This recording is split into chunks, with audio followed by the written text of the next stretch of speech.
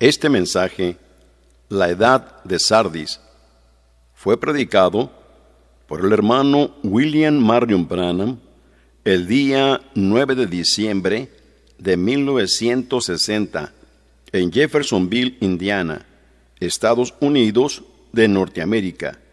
Escuche usted la interpretación al castellano.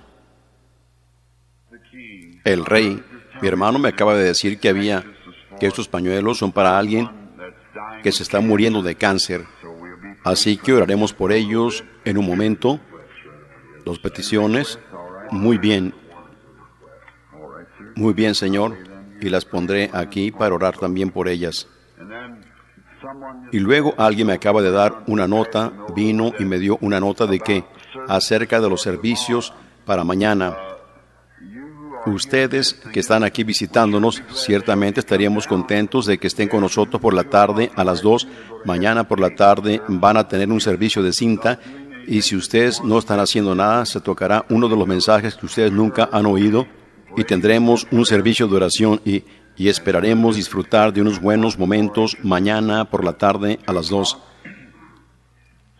Será un tiempo muy ocupado para mí porque mañana, ven, tengo que estudiar para el servicio del domingo por la mañana y también el servicio del domingo por la noche y también el servicio de mañana por la noche y toda la historia sobre esas iglesias. Y miren, el domingo por la mañana, si es la voluntad del Señor, estamos esperando disfrutar de unos grandes momentos, porque el domingo por la mañana voy a predicar algo diferente del tema, un poco fuera del tema. El domingo por la noche, que será la edad de la iglesia de la Odisea. Pero el domingo por la mañana quiero predicar las vírgenes durmientes y la resurrección, los cuatro, los 144 mil y todos esos pequeños cabos sueltos que ligan el mensaje para el domingo en la mañana. Los servicios empezarán a las nueve. ¿Es correcto eso, pastor? A las nueve el domingo por la mañana y queremos estudiar todas esas cosas, como por ejemplo, ¿qué sucede con la Virgen Fatua? ¿Y qué sucede con la Virgen Prudente? ¿Cuándo regresan? O dónde aparecerán los 144 mil y muchas cosas como esas para el domingo por la mañana para tratar de ligar eso, lo cual eso va con este mensaje. Luego el domingo por la noche estudiaremos el último gran ángel y el mensaje a la Odisea. El domingo por la noche si es la voluntad del Señor. Y miren, luego mañana por la tarde es el servicio aquí, un servicio de cinta.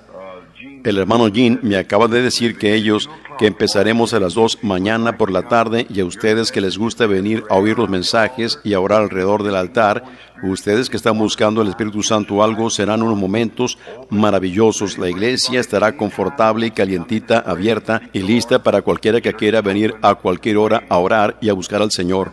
La iglesia está abierta y esperando y estamos los estaremos esperando, lo diré de esa manera, los estaremos esperando mañana por la tarde o a cualquier hora que ustedes quieran venir a la iglesia para orar, bueno, siempre estará lista. Y si llegara a suceder que las puertas estuvieran cerradas o algo, allí al cruzar de la calle, mi hermano, quien es el vigilante aquí, creo que es el número 411, creo yo que, o mejor dicho, 811, es 811 contra esquina de aquí de la iglesia 811. Bueno, él, su esposa, tendrá la llave si sucede que tiraran de la puerta y se cerrara, pero ellos quizás la dejen abierta en la mañana, la abren después del servicio en la noche, la cierra para evitar que los niños corran dentro de ella. Ustedes saben y quiebren las ventanas y demás. Ustedes saben cómo son los niños, especialmente en este día. Así que la cerramos por ese motivo. No nos gusta aún el tener que cerrar la puerta de la iglesia a cualquier hora. Quizás cuando la otra esté arreglada podamos hacer que sea diferente entonces y nosotros y alguien pueda estar allí todo el tiempo para que la gente pueda entrar y orar y buscar sanidad, buscar el Espíritu Santo. Usted que no tiene el Espíritu Santo en su vida, venga, quédese aquí, quédese toda la noche si quiere. Sencillamente quédese hasta que lo reciba. ¿Quién fue el que estaba aquí hace rato cantando? Dios, sobre todo mi ser y Dios en todas partes. Pensé que el rapto había acontecido. Estaba mirando por todas partes para ver si todos estaban aquí. Eso fue realmente maravilloso. Aprecio eso. Pudiéramos tolerar un poco de eso casi todo el tiempo. Sí, Señor. Eso es, apenas llegué a tiempo para poder oír eso. Y yo no he alcanzado oír todos los buenos cantos en estos servicios porque pensé que quizás oh, he estado tan ocupado, ustedes saben cómo es. La gente, la gente viene por avión, por tren, por Uno, uno nunca sabe, ven, porque solo me avisan por teléfono y uno tiene que ir a donde ellos, encontrarse con ellos y orar por ellos en todas partes. Eso está aconteciendo constantemente y luego tratar de estudiar también. Eso hace que sea absolutamente un problema, pero siempre estamos contentos de encontrarnos con el pueblo y hacer lo que podamos por ellos, porque es, esa es nuestra, somos siervos públicos para el Señor Jesucristo, para su pueblo en este día. Y nos gustaría hacer más de lo que hacemos, pero no podemos. Un ministro entró deprisa esta mañana con una crisis nerviosa, sin control de sí mismo, un hombre amable, y era porque él estaba, él había estado trabajando demasiado. Sí, al empezar él a levantarse, su hijita que estaba en el cuarto empezó a girar. Ella tenía puestas unas pequeñas pijamas rojas. Dijo que la última cosa que él recuerda es un pequeño punto rojo girando, girando, girando, girando así. Él se desmayó, ¿ven? Y así que lo llevaron deprisa a mi casa. Así que solo es, es que ha trabajado demasiado, ¿ven? Recuerden que ustedes, ustedes son seres humanos y nosotros, nosotros queremos, pensamos que toda la carga está sobre nosotros, pero ustedes saben, Dios tiene siervos por donde quiera para que se encarguen de algo de eso. Y así que nosotros solo hacemos lo mejor que podemos pero es un ministro bondadoso tratando de hacer todo lo que él puede en estos últimos días para su Señor. Yo de seguro, y el Señor lo liberó allí mismo, estuvo bien y lo restableció a la normalidad, estuvo bien y siguió delante en su camino regocijándose. Yo, una gran cosa sucedió hoy. Yo no quiero empezar en esas cosas, pero ustedes saben, le dije a mi esposa, yo dije, mira, alguien va a venir a nuestra casa y será un hombre de corta estatura, grueso, cabello oscuro y ojos oscuros, y él leerá ese letrero y empezará, pero tú llámalo, ¿ves? Yo dije, porque el Señor tiene un mensaje para él. Y yo abrí la Biblia y dije, voy a poner estas cosas aquí adentro para que tú veas que eso es exactamente lo que el Señor quiere que él haga. Hace ocho años, un hombre polaco de Polonia, criado en Polonia, en una reunión, él pasó por la plataforma y ellos dijeron, o mejor dicho, el Espíritu Santo lo miró, le dijo, dijo, usted solo está confundido, eso es lo que él pensó que yo lo dije, pero el Espíritu Santo lo dijo, eso se quedó con él desde ese entonces y finalmente lo trajo de la ciudad de Kansas al edificio anoche y luego él en verdad se confundió cuando lo oyó acerca de ese bautismo en agua. Él se fue a su hotel y el Espíritu Santo le dijo, levántate ahora y ve para su casa. Alguien quería venir con él, pero él rehusó porque en la visión él vino solo. ¿Ven? Y así que, y él siendo caballero, al leer ese letrero, se dio la vuelta para irse y mi esposa lo llamó y yo fui a la puerta y dije, ese, ese es él, déjalo que entre. Él dijo, ¿qué debo hacer?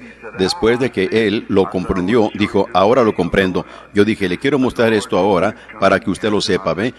Yo dije, el Señor me dijo que usted venía. Y él le preguntó, yo dije, mire, aquí está la escritura, léala aquí mismo antes de que se vaya. Bueno, él está aquí ahora para ser bautizado en el nombre de Jesucristo. Quizás él esté sentado aquí presente ahora mismo, yo no sé. ¿Está usted aquí, hermano? Un hermano, un hermano polaco, ¿eh? Sí, allá atrás, en el rincón. Póngase de pie, levante la mano para que lo puedan ver. Muy bien. ¿Ven ustedes? El Espíritu Santo, eso sucede todo el tiempo. Mucha gente piensa que hay visiones solo acontecen en la plataforma. Oh, eso ni es el principio, que de eso, hermano Lío, acontecen por donde quiera, ¿ven? Bueno, este es el lugar donde menos acontecen aquí. Aquí es donde solo acontecen un poquito de ellas. Allá afuera es donde están aconteciendo todo el día y la noche. ¿Ven? Pregúntenle a mi esposa y ella, y a ellos y a mi vecino que está allá atrás, el hermano Wood, y a todos aquellos que están alrededor, oh hermano. Estas aquí son las cosas pequeñas, pequeñas. Las cosas grandes son las que acontecen allá. Miren, y la mitad aún no ha sido contada. Oh. Estoy tan contento por eso de saber que nuestro Señor viene pronto y que entonces vamos a estar con Él para siempre, no para siempre, sino por la eternidad. Por la eternidad.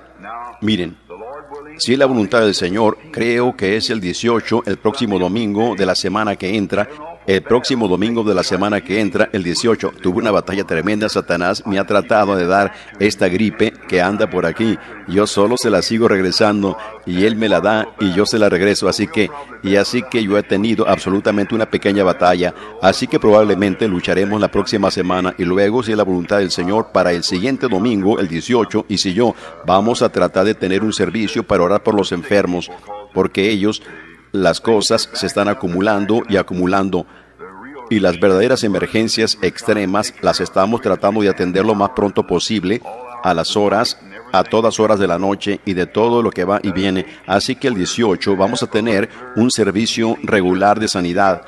Y si tienen alguno de sus amados que quieren que se ore por ellos, bueno, llévenlos allá, o mejor dicho, tráiganlos aquí en esa ocasión.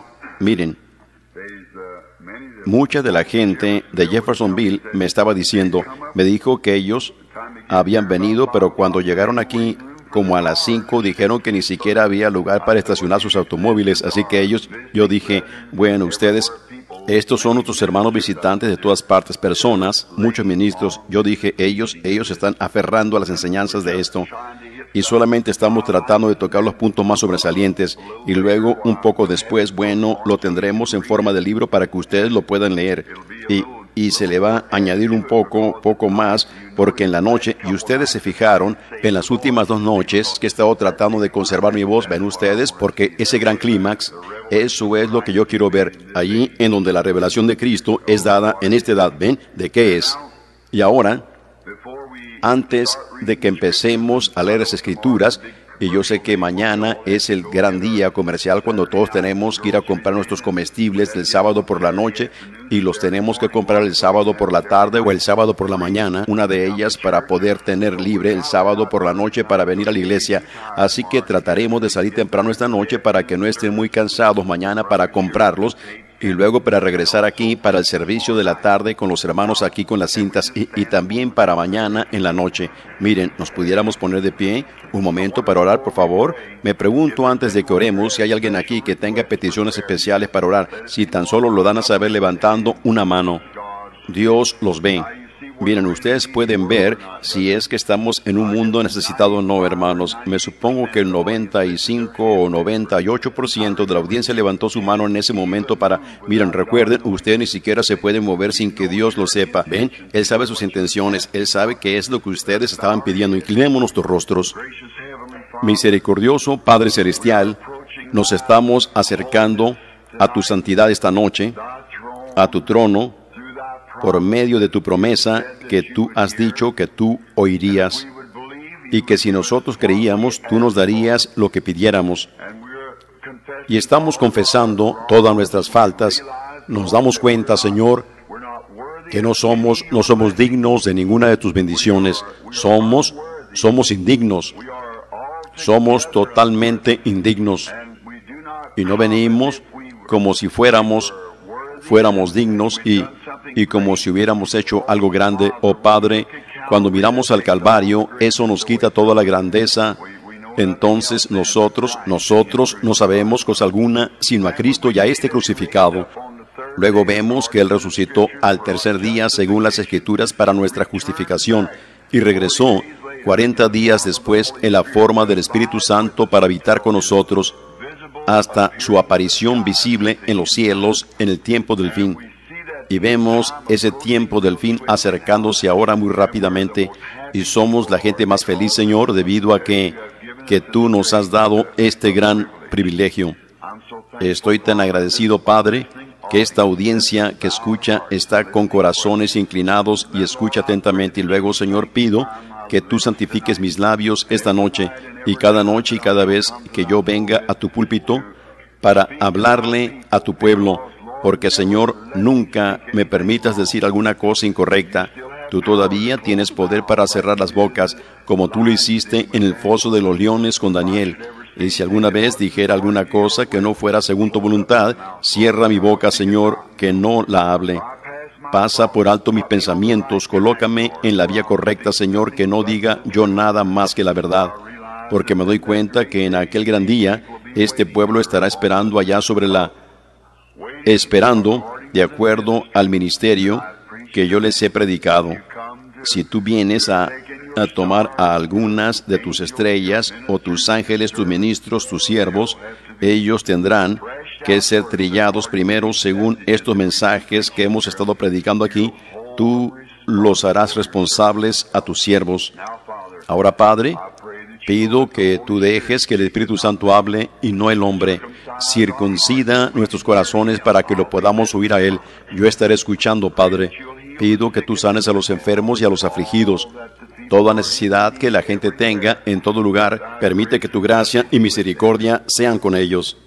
Concede toda petición que fue dada a conocer esta noche a levantar la mano por todo el país mientras muchos otros están sufriendo, aún aquellos que representan estos pañuelos y estas peticiones que están aquí debajo de mi mano. Permite que el Espíritu Santo conteste, Padre, y sana a los enfermos. Háblanos ahora por medio de tu palabra escrita, por medio del Espíritu Santo, lo pedimos en el nombre de Jesús. Amén. Se pueden sentar.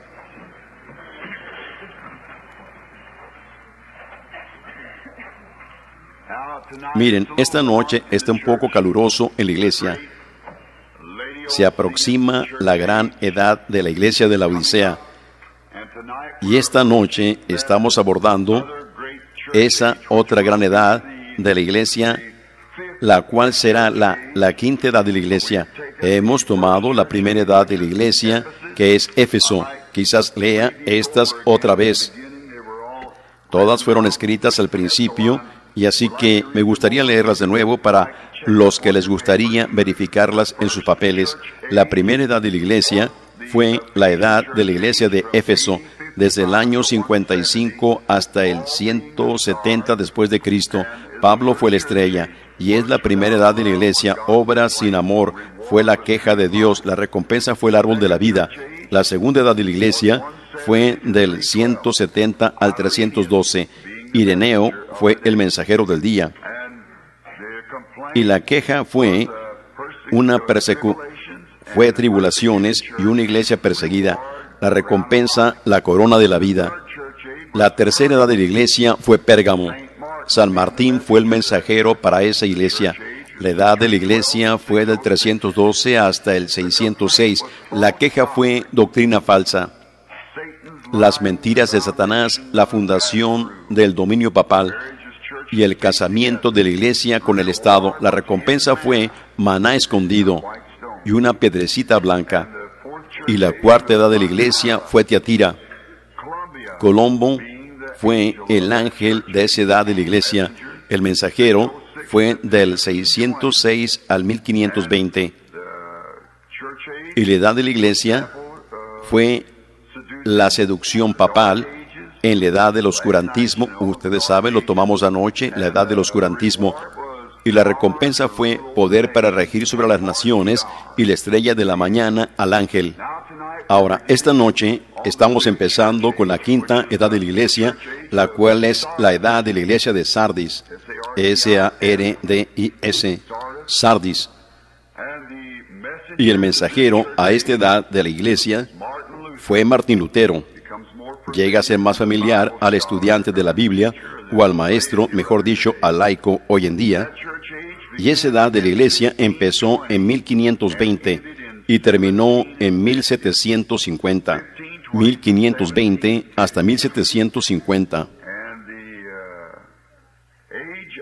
Y es de edad que nosotros llamamos la edad de la reforma. Y la queja fue usando su propio nombre. Y la recompensa para el pequeño remanente que quedó fue andar ante él en vestiduras blancas y tener sus nombres en el libro de la vida del Cordero. Que el Señor nos bendiga mientras que empezamos ahora. Ahora empezamos en el versículo 1 del capítulo 3 de esta edad de la iglesia es el mensaje a Sardis en el período de la Reforma, quedaba un pequeño remanente de creyentes, casi fueron exterminados. Miren, para algunos de los recién llegados, pudiera decir algo sobre esto aquí que, para que no se queden atrasados en esto, es algo tosco y en cualquier momento vamos a venir para colocar nuestros mensajes en el dibujarlo, venir por la tarde y prepararlo. Quizás lo haga el domingo. Miren, cada uno de estos representa una, una edad de la iglesia. 1, 2, 3, 4, 5, 6, 7. Está empezando con Filadelfia. Y esto aquí arriba representa el, el poder pentecostés o una iglesia que estuvo en Pentecostés. Era una iglesia muy grande al principio, pero ellos empezaron a dejar que entrara un, un, un espíritu denominacional entre ellos, tratando de denominar la iglesia, lo cual fue llamado las obras de los Nicolaitas. ¿Me pueden oír allá, muy atrás? ¿Sí? Muy bien, las obras de los Nicolaitas. Miren, todavía no era una doctrina, y luego tomamos la palabra y analizamos lo que eran obras y lo que era Nicolaita. Ese es un nombre extraño para nosotros, Nicolaita. Así que yo tomé el griego y la analicé, y Nico significa conquistar, o vencer, o derrocar algo. Nicolaita, laíta, es la iglesia, laico, Nicolaita, unas, unas obras que estaban tratando de derrocar el laico y poner toda la bendición y que el único que podía leer la Biblia, el único que podía dar la interpretación, sería el obispo o alguna gran persona principal de la iglesia. Luego nos dimos cuenta que en la segunda edad de la iglesia empezó a ser excluida aún más. Esto todavía es Pentecostés. Y esto es denominación de. Miren, en la tercera edad de la iglesia, en Pérgamo, Pentecostés casi fue excluido completamente, pero la doctrina de la denominación llegó a ser unas obras aquí hasta llegar a ser una doctrina aquí. Luego ellos en verdad estaban llegando a estar casados aquí. Ellos se casaron con este grupo aquí que había subyugado a los grupos de Pentecostés. Miren, de la manera que estoy diciendo eso, hermanos, esa es la realidad de los hechos. Eso es de acuerdo a los escritos sagrados de las historias, los libros del concilio de Nicea, el libro de los mártires de Fox y todos los grandes escritos antiguos. Yo tengo algunos de los manuscritos más antiguos que existen y todos, yo digo esto no con, no estoy diciendo que soy pentecostal. Eso no quiere decir, cuando yo digo Pentecostés, eso no quiere decir esta organización que existe en el día en que estamos viviendo. Esa es tan culpable como el resto de ellas. Pero yo me refiero al verdadero pentecostal, el verdadero Espíritu de Dios con la doctrina original, con las bendiciones originales, con los nombres originales, con todo exactamente como empezó en el principio, como fue a través de la Biblia. Miren, entonces cuando llegamos a esta edad, ¿ven ustedes qué tan lejos llega Pentecostés? ¿Lo pueden ver bien allá atrás? ¿Lo pueden distinguir bien allá muy atrás? Muy bien. Miren, anoche allí apareció la gran edad aquí en la que Constantino, Constantino, pondré C-O-N-S, él, siendo un pagano, era le pidió a estos cristianos aquí, los que tenían la doctrina de los Nicolaitas, que si ellos oraban para que ganara cierta batalla, bueno, él llegaría a ser cristiano. Durante ese tiempo, cuando él estaba en la batalla, él tuvo un sueño de que debería que por medio de una cruz blanca que fue puesta delante de él, él dijo, por medio de esto tú ganarás. Y eso es correcto. Luego, él despertó a su ejército y pintó una cruz blanca en sus escudos. Y ese fue el origen o el principio de la orden católica hoy en día llamada los Caballeros de Colón. Ahora miren, Constantino, hay, uno no puede encontrar ni una sola cosa en los libros de la historia de que él haya sido convertido. Él no era nada más que un político deshonesto. Él tenía en su mente la idea de, de unir su reino y fortalecerlo. Así que él mismo, siendo un pagano, adoraba a los ídolos. Luego él vio que la doctrina de los nicolaitas casi había excluido completamente, así que él usó la misma estrategia de la cual nos dimos cuenta anoche. Y Jesús lo predijo 304 años antes de que aconteciera, que él enseñaría la doctrina de Balaam. ¿Cómo es que Balaam engañó a los hijos de Israel, que les ocasionó que cometieran fornicaciones y, y que ofrecieran, tomaran cosas ofrecidas a los ídolos, comieran cosas? Miren, sabemos que comer cosas ofrecidas a los ídolos realmente lo que era era adoración. Entrando, ellos se estaban inclinando a los ídolos, poniendo ídolos otra vez en la iglesia cristiana, así como lo hizo Balaam allá en el pasado que ocasionó que Israel cometiera fornicaciones que fuera a esa gran fiesta del ídolo. Bueno, Constantino hizo la misma cosa con su estrategia y él formó una iglesia. Él dio mucho en el concilio de Nicea y luego ellos, él edificó muchos, muchos de los grandes edificios que él tenía y los convirtió en iglesias. Y luego él edificó un gran altar de mármol, decorado con oro y gemas. Arriba de eso él puso como un trono. Y él constituyó a un solo hombre como la cabeza, como un... Él era llamado en ese entonces un obispo. Y ellos lo pusieron sobre ese trono. Bonifacio III fue entronado.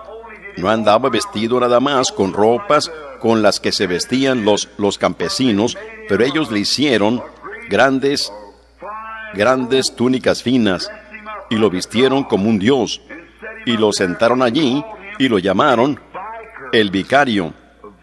El vicario o el vicaribs filii dei, que significa en lugar del Hijo de Dios. Miren, aquí está para el que tiene sabiduría, dibujen, escriban eso, vicaribs filii dei, y luego cuando ustedes tracen una línea ahí abajo y sumen los números y ustedes obtienen exactamente lo que Dios dijo que era la marca de la bestia 666. ¿Ven? Vicaribs Fili. Miren, yo he estado en Roma, yo he estado en el Vaticano y tiene la corona triple. Jurisdicción del infierno, cielo y purgatorio. ¿Ven? He visto la corona, he visto la túnica, he visto ahí mismo. De hecho, un jueves por la tarde a las 3 yo me iba a encontrar con el último papa que estaba allí, el barón von Bloomberg. Tenía la... Y él dijo, mire, cuando usted vaya, hermano Branham, lo primero que usted tiene que hacer es postrarse sobre su rodilla derecha y besar ese anillo. Yo dije, eso nunca, eso nunca, sencillamente olvídelo. Yo dije, yo doy, yo no tengo nada en contra del hombre, él es un pero yo dije, hay una cosa, yo le respetaré a un hombre su título, si él es reverendo, eso está bien, un obispo, anciano, doctor, lo que sea, yo con gusto saludaré a un hombre, pero adorar a un hombre, yo debo mi homenaje a un solo hombre, Jesucristo. Ese es el único hombre ante el cual yo me postraría. Postraría. Yo dije, sencillamente olvídelo, cancélelo. Yo no lo aceptaría. Y así que yo, después de regresar a casa, me di cuenta que hubo otro gran americano que canceló eso también, Teddy Roosevelt.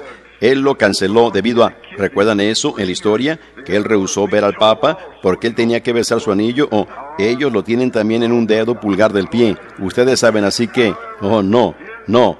Eso nunca. Así que entonces, sin embargo, en, miren, así como Balaam, luego nos dimos cuenta anoche allá, miren, primero aquí, antes de que dejemos esto aquí, ellos consolidaron la iglesia y se casaron, tomaron algunas ideas paganas, e ídolos paganos que estaban en la iglesia, el dios de Júpiter, el dios del sol, el dios de Marte, el dios de Venus, y todos esos ídolos de dioses.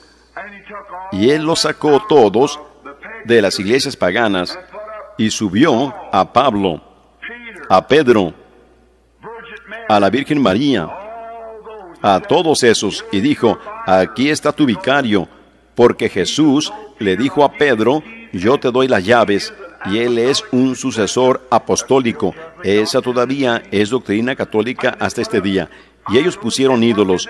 ¿Y qué hicieron ellos? Introdujeron la adoración de ídolos al cristianismo el así llamado cristianismo, no el cristianismo verdadero, porque el pequeño grupo de los de Pentecostés, miren, recuerden, yo no digo, yo no dije bautistas, metodistas, presbiterianos, ellos están en todos. Yo no me refiero a ellos, sino al verdadero y genuino artículo de Dios que fue Pentecostés, fue, es y siempre será. Ahí es en donde la iglesia empezó allí mismo con el poder de Pentecostés. Miren, ustedes dicen, ¿es correcto eso, hermano Brana? Yo les pido que tomen los libros de la historia y miren a través del curso del tiempo hasta aquí y dense cuenta si cada uno de esos genuinos y verdaderos hijos de Dios no se aferraron a esa bendición pentecostal. Hablaban en lenguas, interpretaban lenguas, tenían señales y prodigios, bautizaban en el nombre de Jesucristo. Todo lo que hicieron los apóstoles, ellos también lo hicieron por toda la trayectoria. Esa es la razón de que allí, al leer la historia, yo escogí a Pablo y a Ireneo y, y, y a San Martín, a Colombo. Todos esos hombres, hasta llegar a esta edad aquí, señales y prodigios les seguían. Oh, él dijo que el, el micrófono estaba teniendo un poco de... ¿Está mejor eso? Muy bien, no. Ellos están meneando sus cabezas, mostrando que ellos no pueden oír nada. Bill, muy bien. ¿Pueden ustedes? Es. Miren, ¿me oyen ahora? Ahora, ¿cómo está eso? ¿Está mejor eso? Eso está. Todos dicen muy bien. Billy Paul, esa es una marca contra ti. Muy bien. Está bien. Miren, aquí entonces, en esta edad, cuando él hizo esa gran cosa y estableció aquí a ese hombre, como un obispo universal sobre todas las iglesias, le dio bastante dinero y demás, y les prometió, y sí unió a la iglesia y al Estado, y permitió que la iglesia controlara al Estado. Lo hicieron un gran hombre. Así que allí está exactamente lo que Constantino hizo, es la mismísima cosa que encontramos en esta otra iglesia, que dijo Dios, que en los días de Elías ellos toleraron que esa mujer Jezabel subyugara a sus hijos.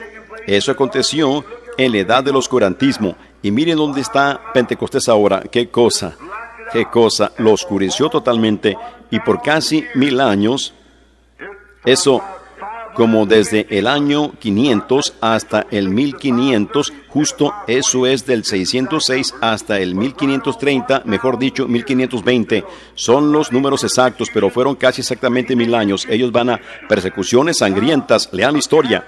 Miren, un católico les dirá que la iglesia cristiana, que ellos eran la iglesia cristiana, ellos sí son la iglesia cristiana denominacional pero los verdaderos de Pentecostés fueron excluidos, matados y asesinados, y se les sentenció a muerte por los papas y los obispos y todos los demás, sangrienta a más no poder. Miran, algún día eso me va a costar mi vida, ¿ven? Por decir eso. Pero esa es una cosa segura. Yo sé para dónde voy y yo, yo nunca. Solo sigue goteando con sangre pero ahora está llegando la hora, la cual ustedes ven según lo que está aconteciendo en la nación, que no falta mucho. Nunca se retracten de eso.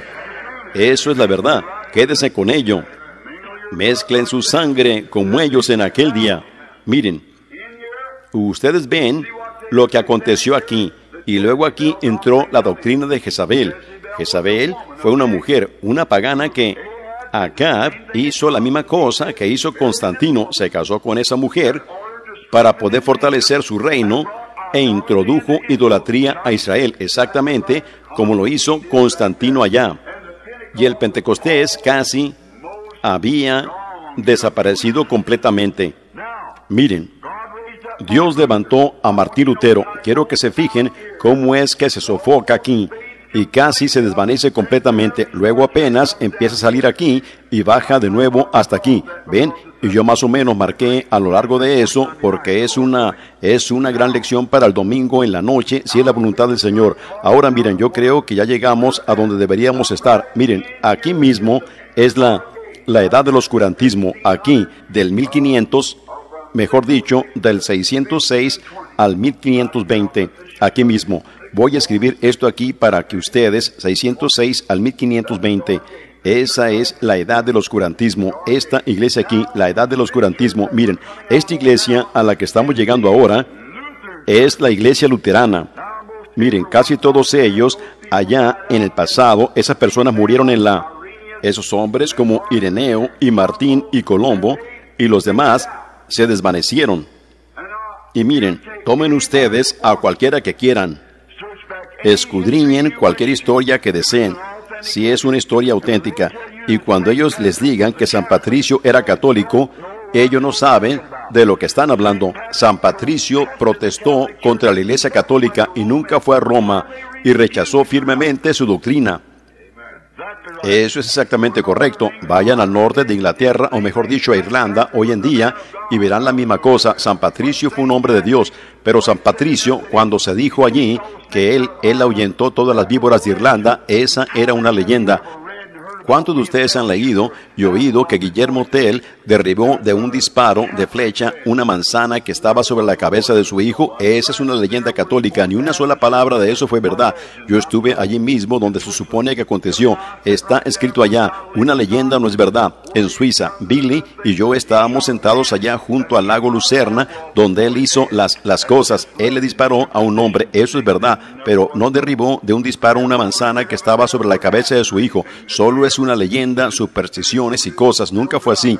Ellos no tienen allí ningún registro de eso en el lugar que aconteció o de alguna cosa así, de que ellos lo hayan hecho y realmente lo descubren allá y dicen que es leyenda. Miren, pero en esto y realmente no hay historia que diga que lo hizo. Así que ahora aquí, en la edad de la iglesia, allí es donde casi se desvaneció completamente, dejando totalmente de existir. Miren, en esta otra edad viene la edad de la reforma. Miren, estas cosas aquí, después de casi mil años de oscuridad y tinieblas y desvanecimiento y demás de esa manera, la iglesia como que perdió de vista a Ireneo. Él era un gran hombre, un hombre piadoso. También lo fueron muchos centenares de esos preciosos santos que dieron la sangre de sus vidas tan voluntariamente como podían, parados en aquella arena. Ven por la causa de Cristo, por el bautismo en el nombre de Jesucristo, por hablar en lenguas, por la resurrección de Jesucristo viviendo en la vida y por su divina presencia estando allí, mientras que la gente que se llamaba a sí misma cristiana los estaba persiguiendo. Eso es correcto. Eso es exactamente correcto. Oh, es una es una legión demoníaca de yo no sé qué, que merece el infierno, que surgen de esa manera y que ellos mismos se forman y ellos mismos se hacen, se dice profetiza, una intérprete divina de la palabra, nadie la conoce sino ellos, se dice, pero es una mentirosa, ¿ven? Pero al mismo tiempo tiene a su ángel allí con la verdad. La verdad siempre regresará a esto. ¿Ven? Siempre regresa al original, porque Dios nunca cambia de eso. Miren, y también nos dimos cuenta anoche, antes de que dejemos esto, para que quede establecido en su corazón, que no solo hicieron en el tipo Jezabel, ella tenía una hija. ¿Recuerdan eso? En Apocalipsis 13 dice que esa iglesia apóstata Roma tenía hijas. Ella era madre de rameras. ¿Es verdad eso? Jezabel tenía una hija, ¿y qué es lo que hizo Jezabel con su hija? ¿Ven todas esas cosas? Que son tipos y sombras. Jezabel se encargó de que su hija se casara con Joram, que era el hijo de Josafat en Judea. Israel estaba dividido en ese tiempo de esta manera. Aquí está Jerusalén aquí y aquí está Judea aquí. Bueno, Acab estaba aquí y Joram estaba aquí. Muy bien. Jezabel tenía esto conquistado. Todo Israel había aceptado ídolos. Entonces, todos excepto Elías y aquel grupito fiel. Muy bien, miren, en este otro lado estaba Joram sobre Judá. Y cuando ella tuvo el bebé por medio de Acab, ella tomó a esta muchacha y la casó con el hijo de Joram, o mejor dicho, con el hijo de Josafat, el cual era Joram, e introdujo idolatría en Judá. Y edificó altares paganos en Jerusalén. Eso es exactamente lo que hizo la Iglesia Católica. Ella introdujo su doctrina de denominación y todo lo demás y eliminó al Espíritu Santo de la Iglesia aquí por medio de su hija luterana, metodista, bautista, pentecostal y todas las demás. Eso es exactamente lo que ella hizo. La Biblia dice, ella es madre de rameras. Mire, solo mire usted a través de las escrituras. Si usted usted ve alguna cosa diferente que eso en la escritura y la historia coincidiendo exactamente en los mismos puntos, venga usted a mí y dígame como caballero, ve, eso es correcto, pero no está allí. Esas denominaciones son las cosas más venenosas que hayamos tenido en el protestantismo, tratando de hacer que el hombre gobierne a la iglesia otra imagen como a la que se sentó en aquel trono. El obispo principal, los superintendentes generales pentecostales. Bueno, mire, déjeme ver cuál es la doctrina de él. Oh, bautizó él en el nombre de Jesús. Él no puede entrar en esto. No, señor, hermano. Usted rechácelo. Ellos también lo tienen que rechazar. Yo quiero que entiendan que ninguno de ustedes vaya a esa reunión allá. Opónganse a eso. No importa cuán enfermos estén ustedes, manténganse alejados. No importa qué esté haciendo Dios. Si ustedes no están mirando por nuestros anteojos, bueno, ustedes no están viendo en lo absoluto. Así que una imagen a la bestia y la imagen tenía vida para hablar. Eso es exactamente correcto. Si ustedes no piensan que habla, solo provóquenla un poquito una vez. Sí, ustedes de seguro se meterán en problemas. Yo recuerdo que en Tulsa, Oklahoma, yo estaba, o yo me estaba metiendo en un lío tremendo allí. Esas denominaciones se empezaron a mover allí alrededor y yo estaba sentado en el edificio un día y vi una, una visión, vi un, un pequeño un gatito bonito y él estaba acostado en una almohada de seda y él era un gatito de lo más bonito y yo me encaminé hacia allá y yo le temo a un gato y llegué allí y empecé a acariciarlo y él estaba haciendo prr, prr. Ustedes saben cómo hacen ese ruido raro, ustedes saben. Y yo le estaba acariciando, yo dije, gatito bonito y él hacía prr, muy dulcemente, ustedes saben. Y yo miré que por detrás de su almohada decía gatito pentecostal. Bueno, pensé yo, mira, ¿no es eso extraño? Y yo dije, esta tiene que ser una visión. Y algo dijo, mientras tú acaricies su pelaje en esa dirección, todo estará muy bien. Pero ahora, si tú quieres ver de qué está hecho, acaricia su pelaje en dirección contraria. ¿Ven? Entonces, cuando yo acaricié su pelaje en dirección contraria, esos ojos verdes se le resaltaron. Y él era un monstruo parado allí, escupiéndome tanto como podía. ¿Ven? Solo acaricien su pelaje un poquito en dirección contraria. Díganle que su bautismo en Padre, Hijo y Espíritu Santo proviene del diablo y proviene de la Iglesia Católica y observen qué le sucede a él. ¿Ven? Su pelaje se le eriza. Yo fui y le dije al hermano Jin y a ellos allá en, a todos, al hermano Lío y a los demás, les dije, en verdad tuve una visión de la realidad de las denominaciones pentecostales. Ahora, el capítulo 3, vamos. Primeramente, Sardis es una iglesia muerta está muerta porque fue matada durante ese tiempo. Solo había una pequeña porción de vida. Nos vamos a dar cuenta en unos cuatro momentos lo que era, solo una pequeña porción. Esta edad de Sardis fue del 1520 al 1750. Y la estrella, o el ángel de la estrella que estaba en su mano, el cual era el ángel o el mensajero de esa edad de la iglesia. ¿Entienden eso claramente? Que la estrella era un ángel y que un ángel es un mensajero para esa edad? Muy bien, muy bien. Ahora hemos terminado con el concilio de Nicea. Ella murió allí y todo llegó a poder y gloria. La iglesia y el Estado se unieron. ¿Y puede alguien recordar que dijo la lección anoche que pensaban muchas de esas personas? Que el milenio estaba aconteciendo y toda la estaban introduciendo el milenio sin la venida de Cristo. ¿Ven? La venida de Cristo es lo que promulga el milenio en primer lugar. Y en aquellos días ellos tenían, si ustedes toman la historia, ustedes se dan cuenta de que ellos tuvieron falsos Jesús que se levantaron y todo lo demás, ¿ven? Y ellos aún pensaron que el Papa era Jesús, llamándolo un vicario que significa el lugar del Hijo de Dios. Sí, era como un gran Dios santo sentado allí. Permítanme decirles algo. La Biblia dice que cuando Jesús venga, antes de que Él venga, se levantarán falsos profetas y se levantarán falsos Jesús. Eso es correcto. Mirad aquí. Pero permítanme dejar esto dentro de sus corazones. Jesús nunca va a poner un pie sobre esta tierra hasta que la iglesia haya sido arrastrada y se haya ido. Miren, mantengan eso en mente porque habrá falsos cristos que se levantarán. Pero Jesús no estará aquí en la tierra porque la trompeta suena y él nunca viene. Nosotros lo encontramos a él en el aire, la iglesia ya se ha ido. Y luego, cuando Jesús aparezca, será cuando él regresa. Los gentiles lo van a encontrar a él en el aire. ¿Es escritura eso? ¿Ven? Ellos lo van a encontrar a él en el aire. Y entonces nosotros subimos y Jesús es, no pone sus pies sobre la tierra hasta que la iglesia haya sido raptada y llevada al hogar y la cena de las bodas haya terminado en el cielo. Luego él regresa por el remanente judío. Así que, miren, había terminado el concilio de Nicea. La iglesia había estado, había estado bajo el reinado papal por casi mil años. Ellos habían matado a todos los que no estaban de acuerdo con ellos. Eso es correcto. o uno se sometía a eso, o uno era, uno era, uno era matado, así como Jezabel le hizo a Israel.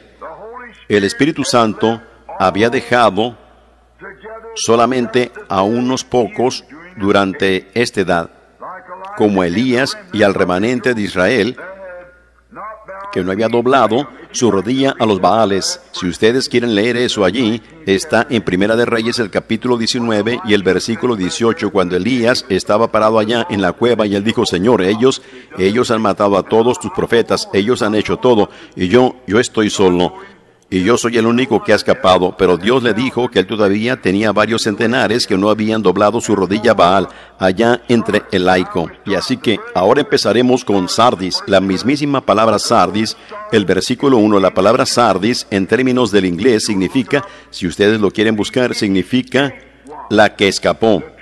La verdadera iglesia Sardis fue la que escapó. Eso es lo que Sardis significa. Muy bien la que escapó. Miren, ¿ven? Y la que escapó. Ahora vamos a empezar en el versículo 1. La vamos a llamar la edad de la reforma. Y es una cosa muy apropiada para esa reforma si así la llamáramos, porque es, la reforma fue los que escaparon, que salieron, y escaparon de eso. Ahora, tomemos el versículo 1. Escribe al ángel de la iglesia de Sardis, el que tiene siete espíritus de Dios y las siete estrellas. Dice esto, yo conozco tus obras, que tienes nombre de que vives y estás muerto. Miren el saludo. Miren, los siete espíritus son los siete espíritus y las siete estrellas. Los espíritus eran los ángeles que fueron a las estrellas, los cuales eran mensajeros. Siete espíritus. En siete ocasiones diferentes, el Espíritu Santo ungía un mensajero, el cual era una estrella en su día, un, un espíritu es eterno y la estrella fue hecha con el propósito de reflejar luz en la oscuridad de esas edades de la iglesia en donde candeleros y estrellas están representados. El ángel, el espíritu, era el que iba a la estrella y reflejaba la luz del Espíritu Santo por medio de esa estrella a esa edad de la iglesia. Si por casualidad ustedes se preguntan quiénes son los siete espíritus, son los siete mensajeros de las siete edades de la iglesia. ¿Ven?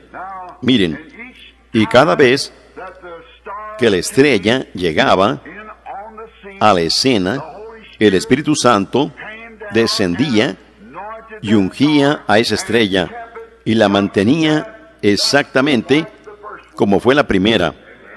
Miren, permítanme, permítanme confirmarles eso.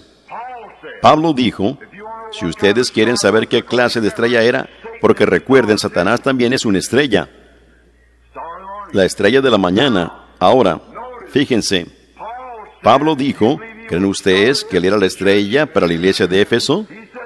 Miren, él dijo, si ustedes quieren saber si es verdad o no, en Gálatas 1.8, Pablo dijo, hablando allí de que después que llegara el tiempo de los lobos rapaces y demás, él dijo, si un ángel descendiera del cielo y os enseñare otro evangelio, miren, ustedes saben que ese hombre iba a venir, que parecería un ángel, un gran vicario.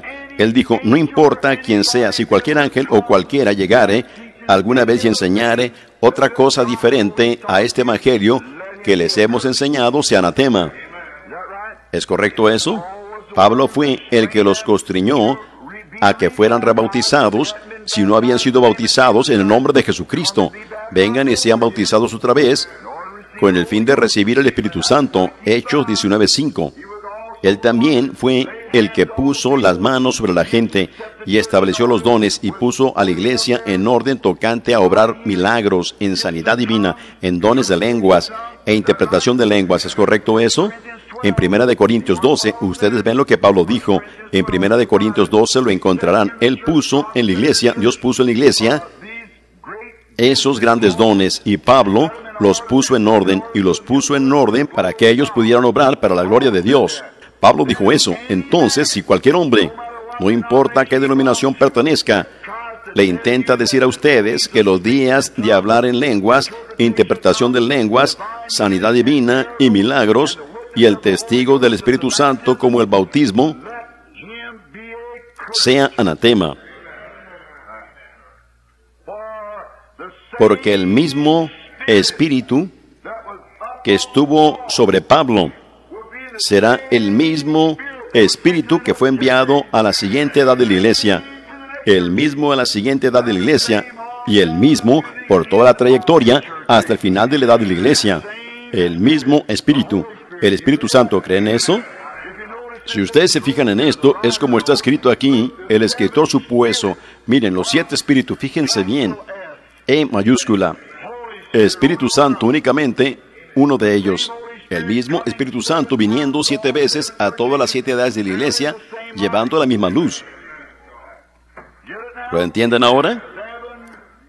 Por siete edades de la iglesia, siete veces ese Espíritu Santo llevaría este mismo mensaje y fue declarado una maldición a cualquiera que lo cambiara.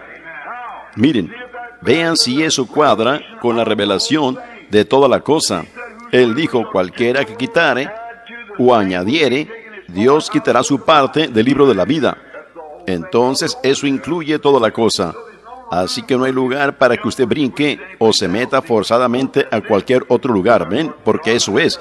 Eso es lo que Dios dijo, eso es lo que el Espíritu dijo y eso es lo que las iglesias dijeron. Mire, si usted trata de meter a fuerza cualquier otra clase de doctrina aparte de lo que Pablo enseñó, está incorrecto. La Biblia está correcta. Su vida, Jesús dijo, yo quitaré su parte del libro de la vida. Miren, ustedes dirán, ¿qué parte del libro de la vida? Hay mucha gente que tiene su nombre en el libro de la vida que con seguridad va a fallar. Ustedes saben eso, ¿verdad? ¿Recuerdan esa enseñanza de la otra noche? ¿La captaron? Quizás repasemos eso. Todavía no suena bien, no parece estar bien. ¿Ven? Judas Iscariote era el hijo de Satanás. Él era un demonio manifestado en carne. La Biblia dice que lo era. La Biblia dice, él nació siendo el hijo de perdición. Fíjense en esto un momento.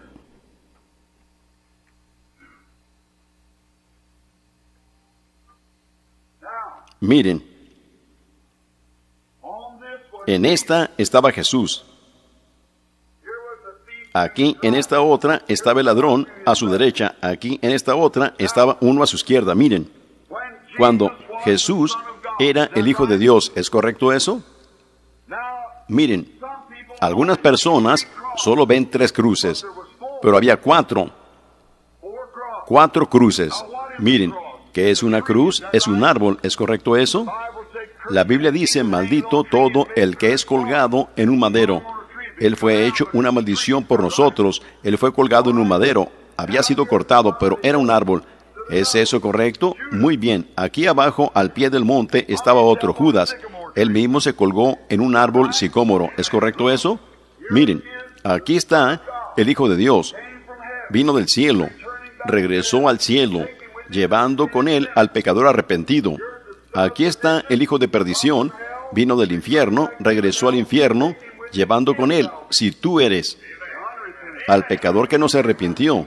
¿Ven? El pecador que no se arrepintió. Si tú eres el Hijo de Dios, sálvate a ti mismo y a nosotros.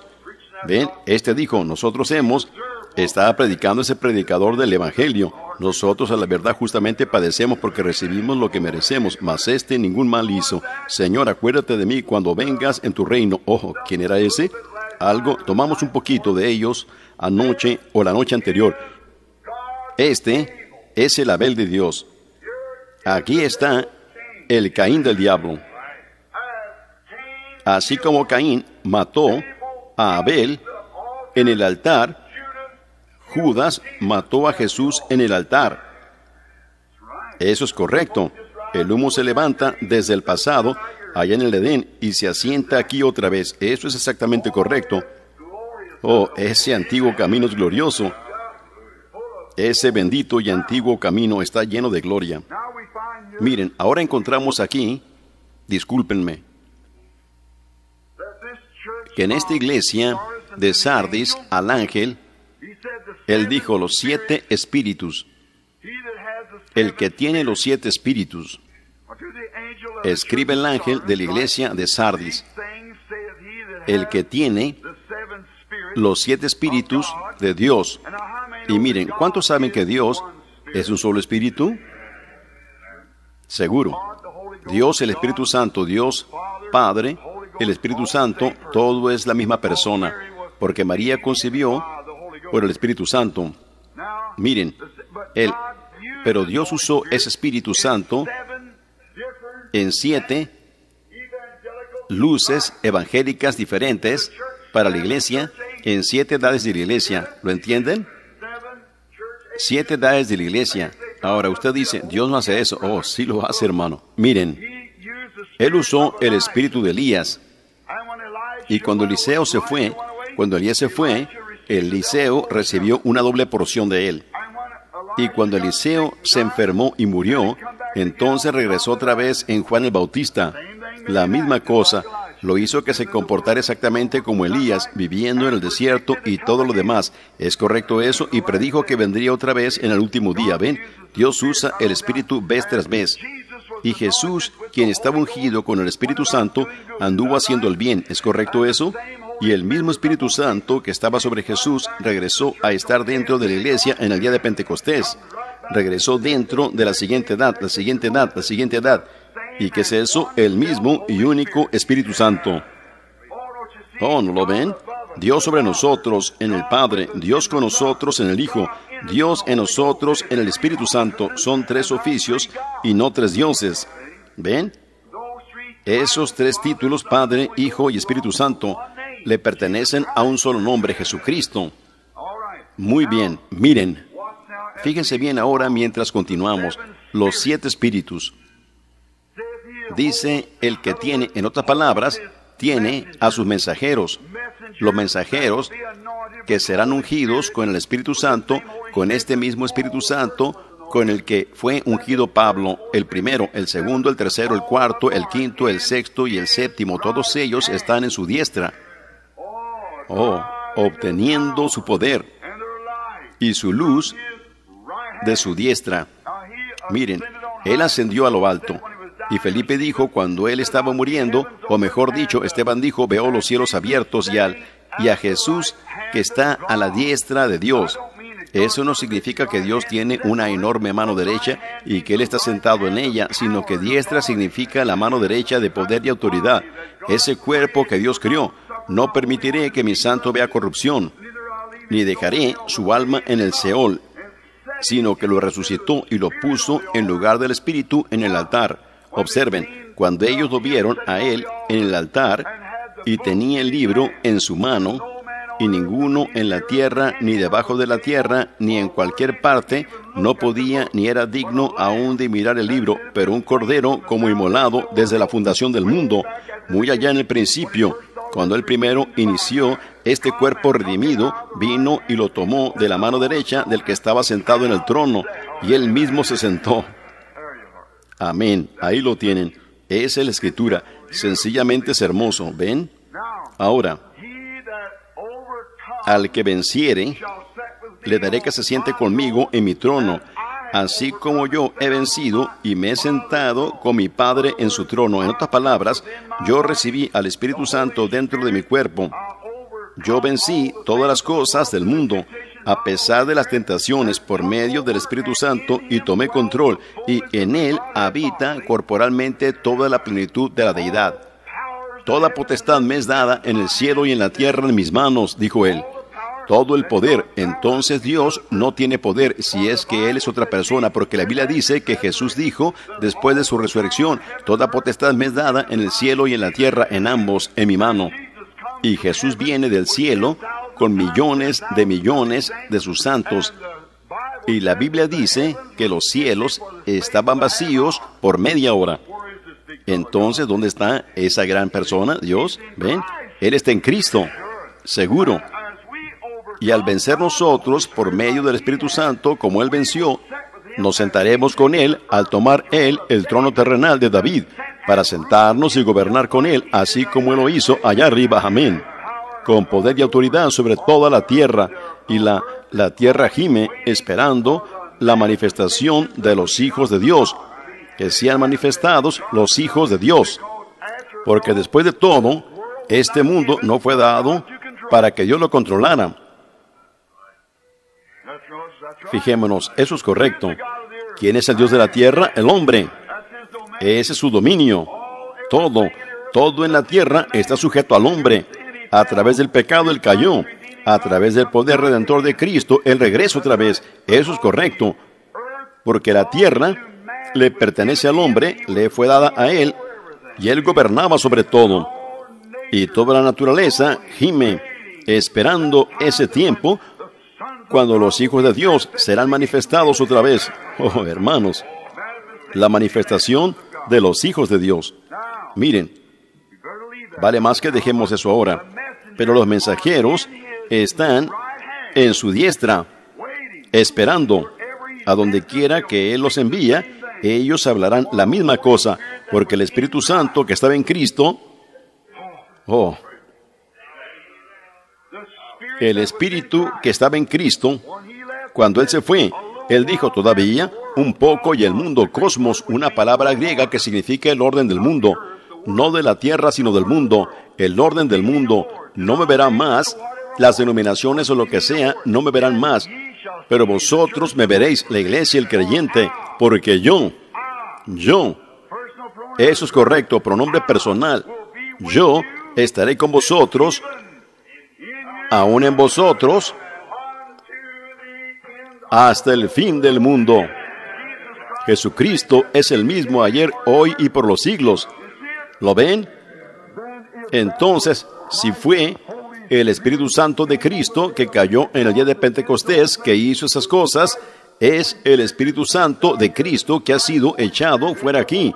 El Espíritu Santo de Cristo que todavía se mantuvo firme aquí. El Espíritu Santo de Cristo que todavía se mantuvo firme aquí, por todo aquí y hasta el fin del mundo. El mismo Espíritu Santo que llenó a Pablo con el Espíritu Santo y las cosas que él hizo llenará totalmente a este Ireneo del Espíritu Santo, llenará totalmente a Martín del Espíritu Santo y llenará totalmente al resto de ellos del Espíritu Santo y los llenará totalmente a ustedes y a mí del Espíritu Santo. Y es una bendición de Pentecostés de una edad de la iglesia a la otra el alfa y la omega, el fin y el principio y todo, la raíz y el linaje de David, la estrella de la mañana, la rosa de Sarón, el lirio del valle, todo lo demás, Padre, Hijo y Espíritu Santo, el que era, el que es y que ha de venir, el alfa, la omega, todo, todo en todos.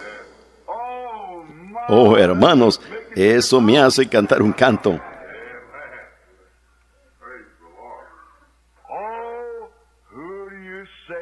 Oh, ¿quién dices? Que yo soy? Dijo Jesús, ¿de dónde vengo yo? ¿Conoces a mi Padre? ¿Y cuál su nombre es? Él dijo, yo soy Alfa y Omega, del principio hasta el fin. Yo soy toda la creación y el nombre es Jesús. Yo soy quien habló en la zarza de fuego con Moisés. Yo soy el Dios de Abraham, la estrella resplandeciente de la mañana. Eso es correcto. Yo soy la rosa de Sarón. ¿Y de dónde dijiste que vine yo? Yo soy toda la creación, pero el nombre es Jesús. Toda la familia en los cielos y en la tierra se ata, se ciñe dentro de ese único nombre universal, bendito, lleno del Espíritu Santo, nombrado por el Espíritu Santo, hablado por el Espíritu Santo, nacido por el Espíritu Santo eso es correcto. Dios lo ha dado a toda la familia en el cielo y en la tierra y todo, y toda rodilla se doblará a ese nombre y no hay otro nombre bajo el cielo dado a los hombres en que podamos ser salvos. No que quizás deberíamos ser, sino que podamos ser salvos. Oh, yo amo eso. Sencillamente es bueno. Muy bien. En su diestra, ¿se dan cuenta ahora? Es una iglesia de Pentecostés. Poder, señales, prodigios, siendo hechos por toda la trayectoria. Ahora estamos, pasamos por la edad del oscurantismo, donde ella casi fue completamente sofocada. Tomemos ahora el versículo 2. Oh, creo que continuaremos todavía un, un poquito con el versículo 1. Yo conozco tus obras, que tienes nombre de que vives y estás muerto. Abran allí a la siguiente iglesia y ustedes se darán cuenta, mas no has negado mi nombre. La siguiente iglesia, no has negado mi nombre.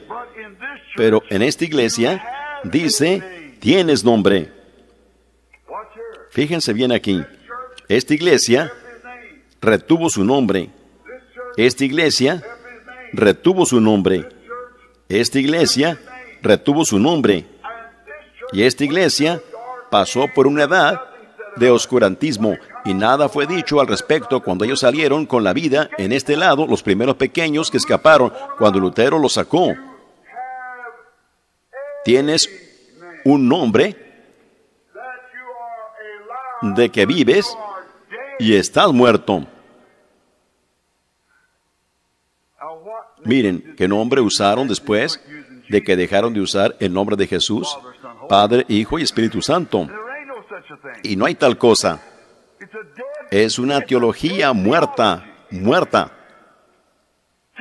Díganme, ¿es padre un hombre? ¿Cuántos padres hay aquí? Levanten su mano.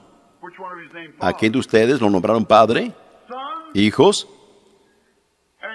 ¿Y humanos? Eso, eso es lo que ustedes son. No, su nombre no es Espíritu Santo. Eso es lo que Él es. Él es el Espíritu Santo. El nombre, el Espíritu Santo no es un nombre. El Espíritu Santo es un título, Padre, Hijo y Espíritu Santo. Así que, ven ustedes, no tiene fundamento, así como no tiene fundamento el oficio eterno del Hijo. No hay tal cosa como el oficio eterno del Hijo. Un hijo nace de algo, lo eterno nunca nació. Como dije la otra noche, no hay tal cosa como un infierno eterno. ¿De dónde obtuvieron un infierno eterno? Entonces siempre ha existido un infierno. La Biblia dice, fue creado para el diablo y sus ángeles. Si siempre hubiera existido un infierno, si siempre va a haber uno, tuvo que haber existido uno en el principio. ¿Y qué? ¿Quién lo usó muy allá en el pasado cuando, cuando él era él, el Elohim? El que existe por sí mismo. Cuando no había nada más, entonces el infierno tuvo que haber estado allí con él. Ven, el infierno fue creado para el diablo y sus ángeles, y todos los inicuos serán lanzados en él. Eso es exactamente correcto. Ellos serán castigados quizás por 100 millones de años por lo que han hecho, pero llegará un tiempo cuando ellos tendrán la muerte segunda. No quedará nada más de ellos. Todo lo que tuvo un principio tiene un fin.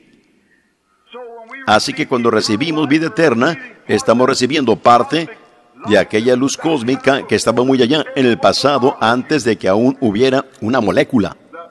Esa luz de Dios entra en nuestro corazón que nos ilumina, que vemos a Jesús. La Biblia dice, no vemos todas las cosas, pero vemos a Jesús. Ahora, Él dijo, yo conozco que yo soy el que tiene los siete espíritus que los envía a las siete iglesias. Yo conozco todas tus obras y todo al respecto, pero tienes nombre de que vives y estás muerto. Miren, recuerden la edad de quien era esta edad de Martín Lutero, la edad luterana. Miren, ellos fueron condenados en su principio. Ellos ni siquiera tuvieron que principiar. Para empezar, ellos estaban muertos. Ellos no tuvieron que morir. Para empezar, ellos estaban muertos. ¿Ven? Ellos solo fueron arrebatados. Miren, fíjense en esto. Ahora leamos el siguiente versículo. Fíjense bien.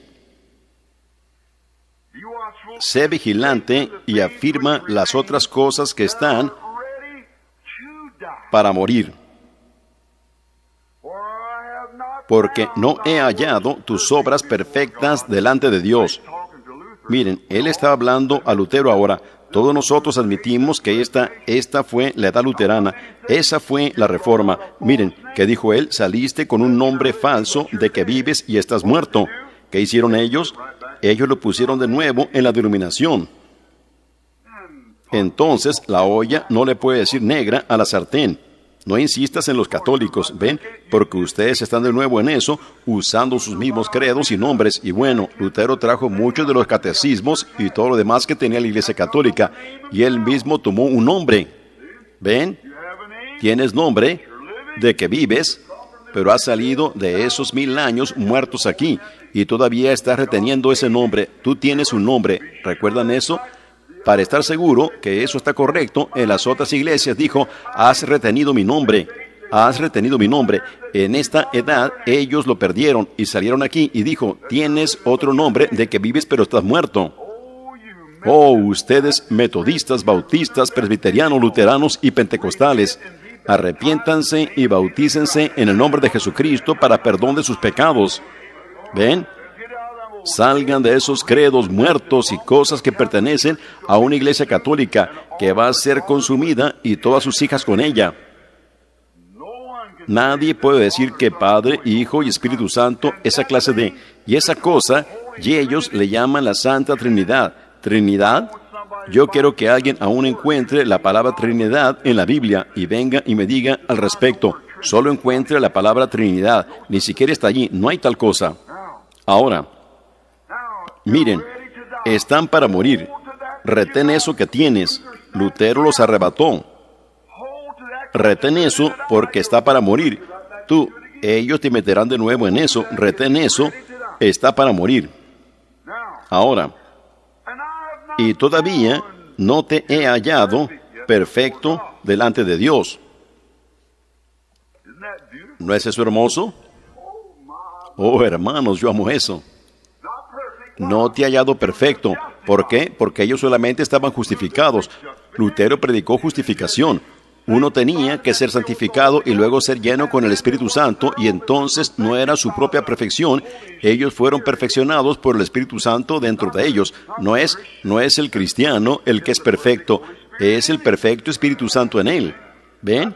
Eso es lo que, como dije, no es el monte santo, es el Dios santo en el monte. No es la iglesia santa, no es la gente santa, sino que es el Espíritu Santo dentro de la iglesia y dentro de la gente. Esa es la parte santa. ¿Ven? Miren, no he hallado tus obras perfectas, ustedes no han llegado a perfección, porque nos damos cuenta ahora que ellos tenían justificación aquí. Justificación. Esto es, no, perdónenme, justificación fue aquí bajo Lutero. Y santificación está aquí, y aquí está el Espíritu Santo. ¿Ven? Miren, esos tres elementos que obraron en esas tres edades de la iglesia, eso es lo que se necesita para constituir el nacimiento completo. Ellos solo fueron concebidos como un pequeño germen en la matriz de la madre. Correcto, el Espíritu Santo llegando a nacer. Ahora les quiero preguntar algo. Cuando un nacimiento natural acontece, ¿qué es lo primero que sale? Agua. Lo siguiente, sangre. ¿Es correcto? Lo siguiente, espíritu. Correcto. ¿Qué salió del cuerpo de Jesús cuando él murió? Ellos le traspasaron su costado y agua y sangre salieron, y en tus manos encomiendo mi espíritu. Agua, sangre, espíritu. Justificados pues por la fe, Romanos 5.1, tenemos paz para con Dios por medio de nuestro Señor Jesucristo, justificación, santificación, Hebreos 13.12 y 13. Jesús para santificar al pueblo mediante su propia sangre padeció fuera de la puerta. Lucas 24:49, pero quedaos vosotros en la ciudad de Jerusalén hasta que seáis investidos de poder desde lo alto. Cuando haya venido sobre vosotros el Espíritu Santo, entonces me seréis testigos en Jerusalén, Judea, Samaria. No cuando usted llegue a ser obispo, no cuando llega a ser diácono, no cuando llega a ser pastor, no cuando llega a ser papa, sino cuando haya venido sobre vosotros el Espíritu Santo. Entonces daréis testimonio Usted solo puede dar testimonio de su iglesia y de su credo como una, si usted solo es un diácono, si usted solo es un pastor, si usted solo es un papa o si usted es, usted está dando testimonio de un credo, pero cuando el Espíritu Santo viene sobre usted, entonces usted da testimonio de él y las obras que él hizo, usted también las hace porque su vida está dentro de usted. Oh, oh, hermanos, hermanos, me gusta eso, sí, Señor. Oh, yo recibo más de, de ello aquí arriba, creo yo, que ustedes que están allí. Yo me siento bien con ello. Las cosas que están para morir, reténlas. Ahora, él dice aquí, ahora, en el versículo 3, acuérdate, pues, de lo que has recibido y oído. Me gusta eso. Y guárdalo. Y arrepiéntete. Pues si no velas, vendré sobre ti como ladrón, y no sabrás a qué hora vendré sobre ti. Retén tu justificación. Quédate con ella. No permitas que esa gente te quite eso. También aquello que tú has recibido, has oído. Ellos leyeron la misma Biblia que nosotros leemos, ¿ven? Pero ellos sencillamente no la aceptaron toda porque no fue revelada a ellos, no era para su edad. Esa es la razón de que ellos van a resucitar en la resurrección. Ellos anduvieron en la luz en la que ellos tenían para andar. Así que ellos van a resucitar. Miren, yo he ido a mucha gente pentecostal que predica el bautismo, decir, esos luteranos y demás no van a resucitar. Oh, sí. Ustedes conocen la pequeña historia acerca del doctor Agnery allá en el seminario. Yo le dije, él dijo, que somos nosotros. Yo dije, ustedes saben, ellos edificaron ese gran seminario luterano, Betania, en Minneapolis. Y él dijo, bueno, ¿qué tenemos nosotros luteranos? Yo dije, bueno, le diré, yo creo que ustedes tienen a Cristo. Y él dijo, bueno, queremos, queremos el Espíritu Santo. Él dijo, ¿cree usted que lo tenemos? Yo dije, potencialmente. Y yo dije, ustedes están creyendo hacia Él.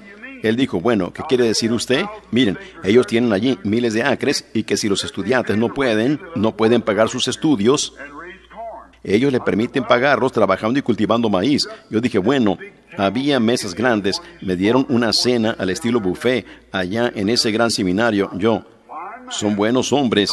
El doctor Igery estaba sentado allí y el hermano Jack Moore aquí, porque yo lo senté cerca de mí por si acaso él empezaba a hablar con palabras grandes que yo no sabía. Iba a golpear a Jack con mi pierna para saber lo que decía él. ¿Ven ustedes? Así que entonces yo dije, él se sentó al lado mío y él dijo, bueno, lo que nosotros queremos hacer es enterarnos de algo aquí. Dijo, tenemos hambre por Dios. Y dijo, leímos un libro sobre los pentecostales, los dones. Y dijo, fuimos un grupo de nosotros, los hermanos, abordamos el avión y fuimos a California y conocimos al hombre que escribió el libro y yo lo conozco. Él dijo, a nosotros nos gustaría ver algunos de los dones en operación. Él dijo, yo no tengo ninguno de ellos. Dijo, yo solo escribí acerca de ellos. Ven, él dijo, y dijo, y entonces desde que fuimos allá y vimos esto, tenemos hambre, queremos a Dios.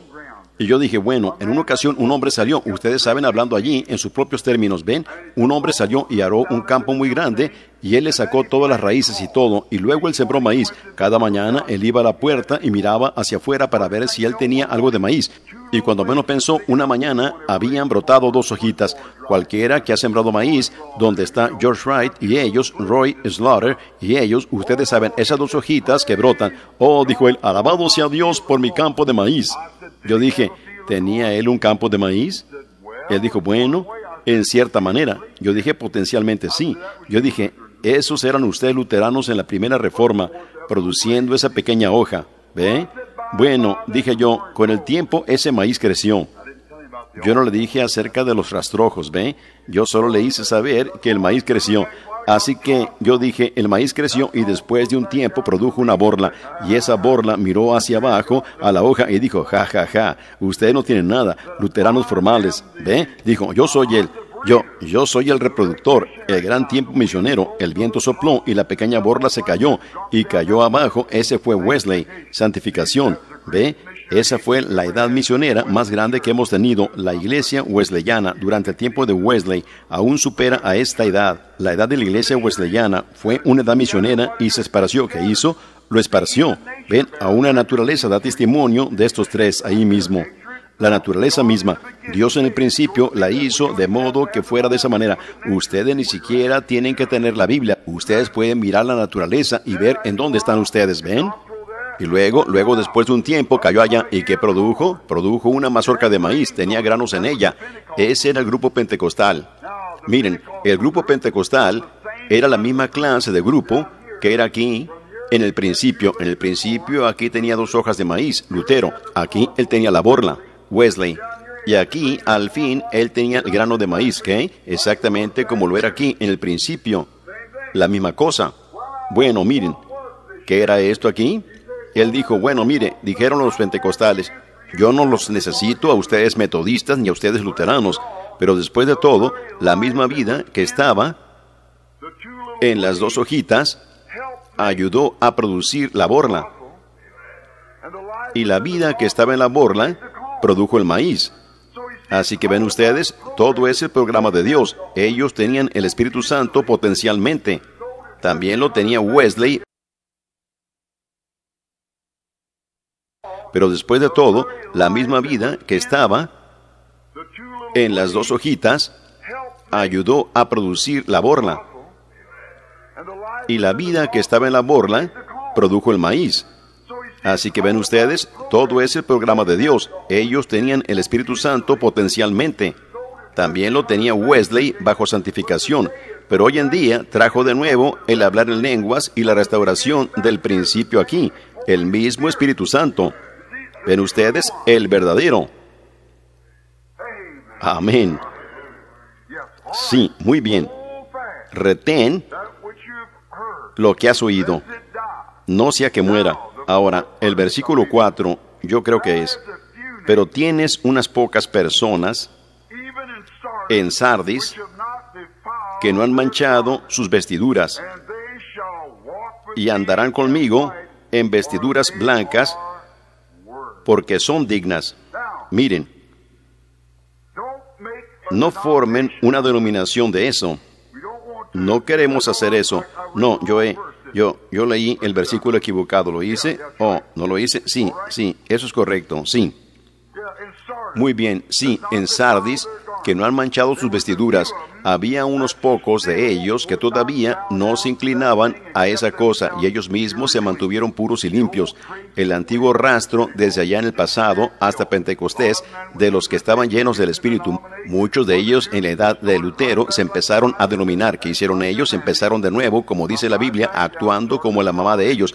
Regresaron de nuevo y empezaron su denominación, pero unos pocos de ellos se pararon firmes y dijeron que no lo harían. Ellos se mantuvieron firmes por Dios, dijeron que Él dijo, bueno, muy bien, tienes unas pocas personas y son dignas de andar delante de mí en vestiduras blancas. No formen una denominación. Miren, no reciban la doctrina nicolaíta. No empiecen otra vez su denominación, sino manténganse libres en Dios. Permitan que el Espíritu Santo los guíe mientras ustedes siguen adelante. Todavía quedan unos pocos. Ahora, el versículo 5 creo que es, el que tiene oído, oiga, veamos ahora, el que venciere será vestido de vestiduras blancas, y no borraré su nombre del libro de la vida, y confesaré su nombre delante de mi Padre y delante de los ángeles. Ahora, unas pocas personas, quedaron muy pocos, solo un pequeño remanente que no tomó el, tomó, no fue controlado por la doctrina católica. Muy bien. Miren, vamos a hablar de la reforma. Me gustaría. Dejé los datos de la historia de Lutero para poder tomarlo aquí. Ahora, el siguiente versículo dice, el que tiene oído, oiga lo que el Espíritu dice a las iglesias. Dios les está tratando de advertir aquí que se mantengan fuera de ese nicolaísmo, manténganse alejados de eso, mantengan su vestidura sin mancha de cualquier cosa del mundo, que solo se mantuvieran libres en Él, y Él los dirigiría y los guiaría. Miren, ese es el principio. Miren, al decir reforma, quiero decir los que escaparon, los que se habían escapado aún en la iglesia de Sardis. ¿Entienden lo que quiero decir? Los que todavía habían escapado de esa cosa horrible. Ahora miren, lo repasaremos de nuevo mañana por la noche y lo traeremos hasta aquí a la, edad pentecostal y les enseñaré que eso es exactamente. Miren, hay algunas de estas cosas de las cuales hablamos aquí, de cómo escapar de eso, que tomaremos en la siguiente edad. ¿Ven? Las tenemos que tomar para hacer que cuadren. Si uno no lo hace así, entonces uno, uno, uno, uno falla en darle a la, gente, aclararlo en esa siguiente edad. Ven ustedes, uno se los tiene que presentar a ellos exactamente como la Biblia lo presenta aquí. Ven, muy bien. Miren, de los que escaparon es de los que Él está hablando. Esos son estos aquí, este pequeño grupo aquí que está viviendo a través de la justificación. Ahora, miren, ellos salieron, ellos vieron la luz y Lutero regresó justamente. Fue después de la muerte de Lutero. No fue Lutero. Lutero nunca formó una organización. Fue ese grupo después de él. Wesley nunca formó una organización. Fue ese grupo después de él. Esos antiguos fundadores de Pentecostés nunca formaron una organización, fue el grupo después de ellos. Ese es el que la forma. Ven, es la segunda generación el que la forma. El verdadero ángel de luz nunca formará una organización. Y ustedes se darán cuenta en esta, en esta edad pentecostal que es lo que viene al fin de esa organización también. ¿Ven? Cuando el Espíritu Santo nos lo revele. Miren, Él dijo, te queda un poquito de luz, solo un poquito. Ella está para morir, está disminuyendo, solo es justificación. Ellos te pueden llevar de aquí para allá. Tú todavía no has recibido vida porque tú tomaste el nombre equivocado, pero tú estás, tú estás, por lo menos has sido arrebatado. ¿Ves? Tú eres, tú, tú has escapado de la iglesia romana. Tú has escapado de todo ese dogma y por lo menos has salido hasta allí. Miren, ustedes están leyendo la misma Biblia ahora, pero la misma Biblia que enseña del Espíritu Santo, Él nunca los condenó por lo que ellos tenían. Solo retengan eso hasta que yo venga. Ven, solo sigan reteniéndolo. Miren, la edad de la iglesia empezó como en 1520, cuando la iglesia católica romana universal estaba en pleno apogeo. Eso duró hasta el 31 de octubre, si ustedes lo están anotando, el 31 de octubre de 1570 después de Cristo, cuando Martín Lutero clavó sus 95 tesis en la puerta de la iglesia en Wittenberg, Alemania, y desde ese tiempo la reforma estaba en marcha. ¿Anotaron esas fechas? Permítanme darlas de nuevo para que estén seguros, el 31 de octubre de 1570 después de Cristo, cuando Martín Lutero clavó sus 95 tesis en la puerta de la iglesia en Wittenberg, W-I-T-T-E-N-B-E-R-G, Wittenberg, Alemania. Desde esa fecha, la reforma se estableció, el fuego se empezó a propagar. Él protestó contra esa iglesia católica parado allí, con eso en su mano, él dijo, dicen que esto es el santo cuerpo de Cristo, es una hostia y un poco de vino. Y. Él lo arrojó al suelo. Eso es correcto. Él protestó contra la Iglesia Católica y la eso empezó. El pequeño grupo arrebatado salió en ese entonces. Muy bien. Él estaba en marcha, pero era más una una pelea por poder político que por la iglesia verdadera y genuina, por los principios cristianos. Ellos solo pelearon por un derecho político para salir de la iglesia y formar otra iglesia. Ellos nunca se reformaron saliendo de la Iglesia Católica para traer de nuevo al Espíritu Santo y poder a la Iglesia, porque ellos lo negaron. ¿Ven? Era una reunión política. Esa es su... Ciertamente era apropiado. Tienes nombre de que vives y estás muerto. En otras palabras, él solo sacó la denominación protestante, eso es todo. Él sacó una hija de la iglesia sacó de la, él sacó una prostituta de la ramera. Eso es exactamente lo que había acontecido. Él sacó a Atalía de Jezabel. Mire, cualquiera que lee de la reforma sabe que eso es así, porque él sencillamente unas cuantas de las antiguas reliquias y ordenanzas que y ceremonias, él, él sencillamente las destruyó. Pero en cuanto a traer de nuevo al Espíritu Santo a la iglesia, como lo fue aquí, Él no lo hizo. No, Señor. Era más una pelea política que una pelea espiritual. Era la política en vez del Espíritu Santo. Él todavía no había entrado a la iglesia. Oh, hermanos. Él no había regresado. Él regresa aquí, no allá. Miren, era una gran reunión política. Pero no era por las Santas Escrituras y el, y el Espíritu Santo. Era una reunión política en la que él sí se deshizo de algunas de las antiguas reliquias del crucifijo y Ave Marías y todo eso. Pero él todavía se trajo con él un catecismo. Él todavía se trajo eso. ¿Cómo se llama? Servicios de consagración o lo que sea, cuando van allá en la mañana de Pascua y el pastor les desea una feliz Navidad. Ustedes saben, ya no los veré hasta el tiempo de Navidad, dijo él, ustedes saben, en un oh, servicio de confirmación, es lo que estoy tratando de decir. Los llevan allí y los confirman les dan la primera comunión y los confirman. No hay tal cosa como confirmar. La única confirmación que se menciona en la Biblia, en, en la Biblia es cuando Dios confirmó su palabra con las señales y prodigios que le seguían. Esa es la confirmación que necesitamos, no la confirmación de pertenecer a una iglesia luterana, sino Dios confirmando su palabra en ustedes, ayudándoles el Señor. Marcos 16 y confirmando la palabra con las señales que le seguían. Esa es la confirmación de la iglesia de Pentecostés. Esa es la confirmación. Dios mismo confirma que está vivo como un Dios que obra milagros dentro de la iglesia, hablando en lenguas, interpretando lenguas y haciendo las mismas cosas que ellos hicieron al principio. ¿Los estoy cansando? Muy bien.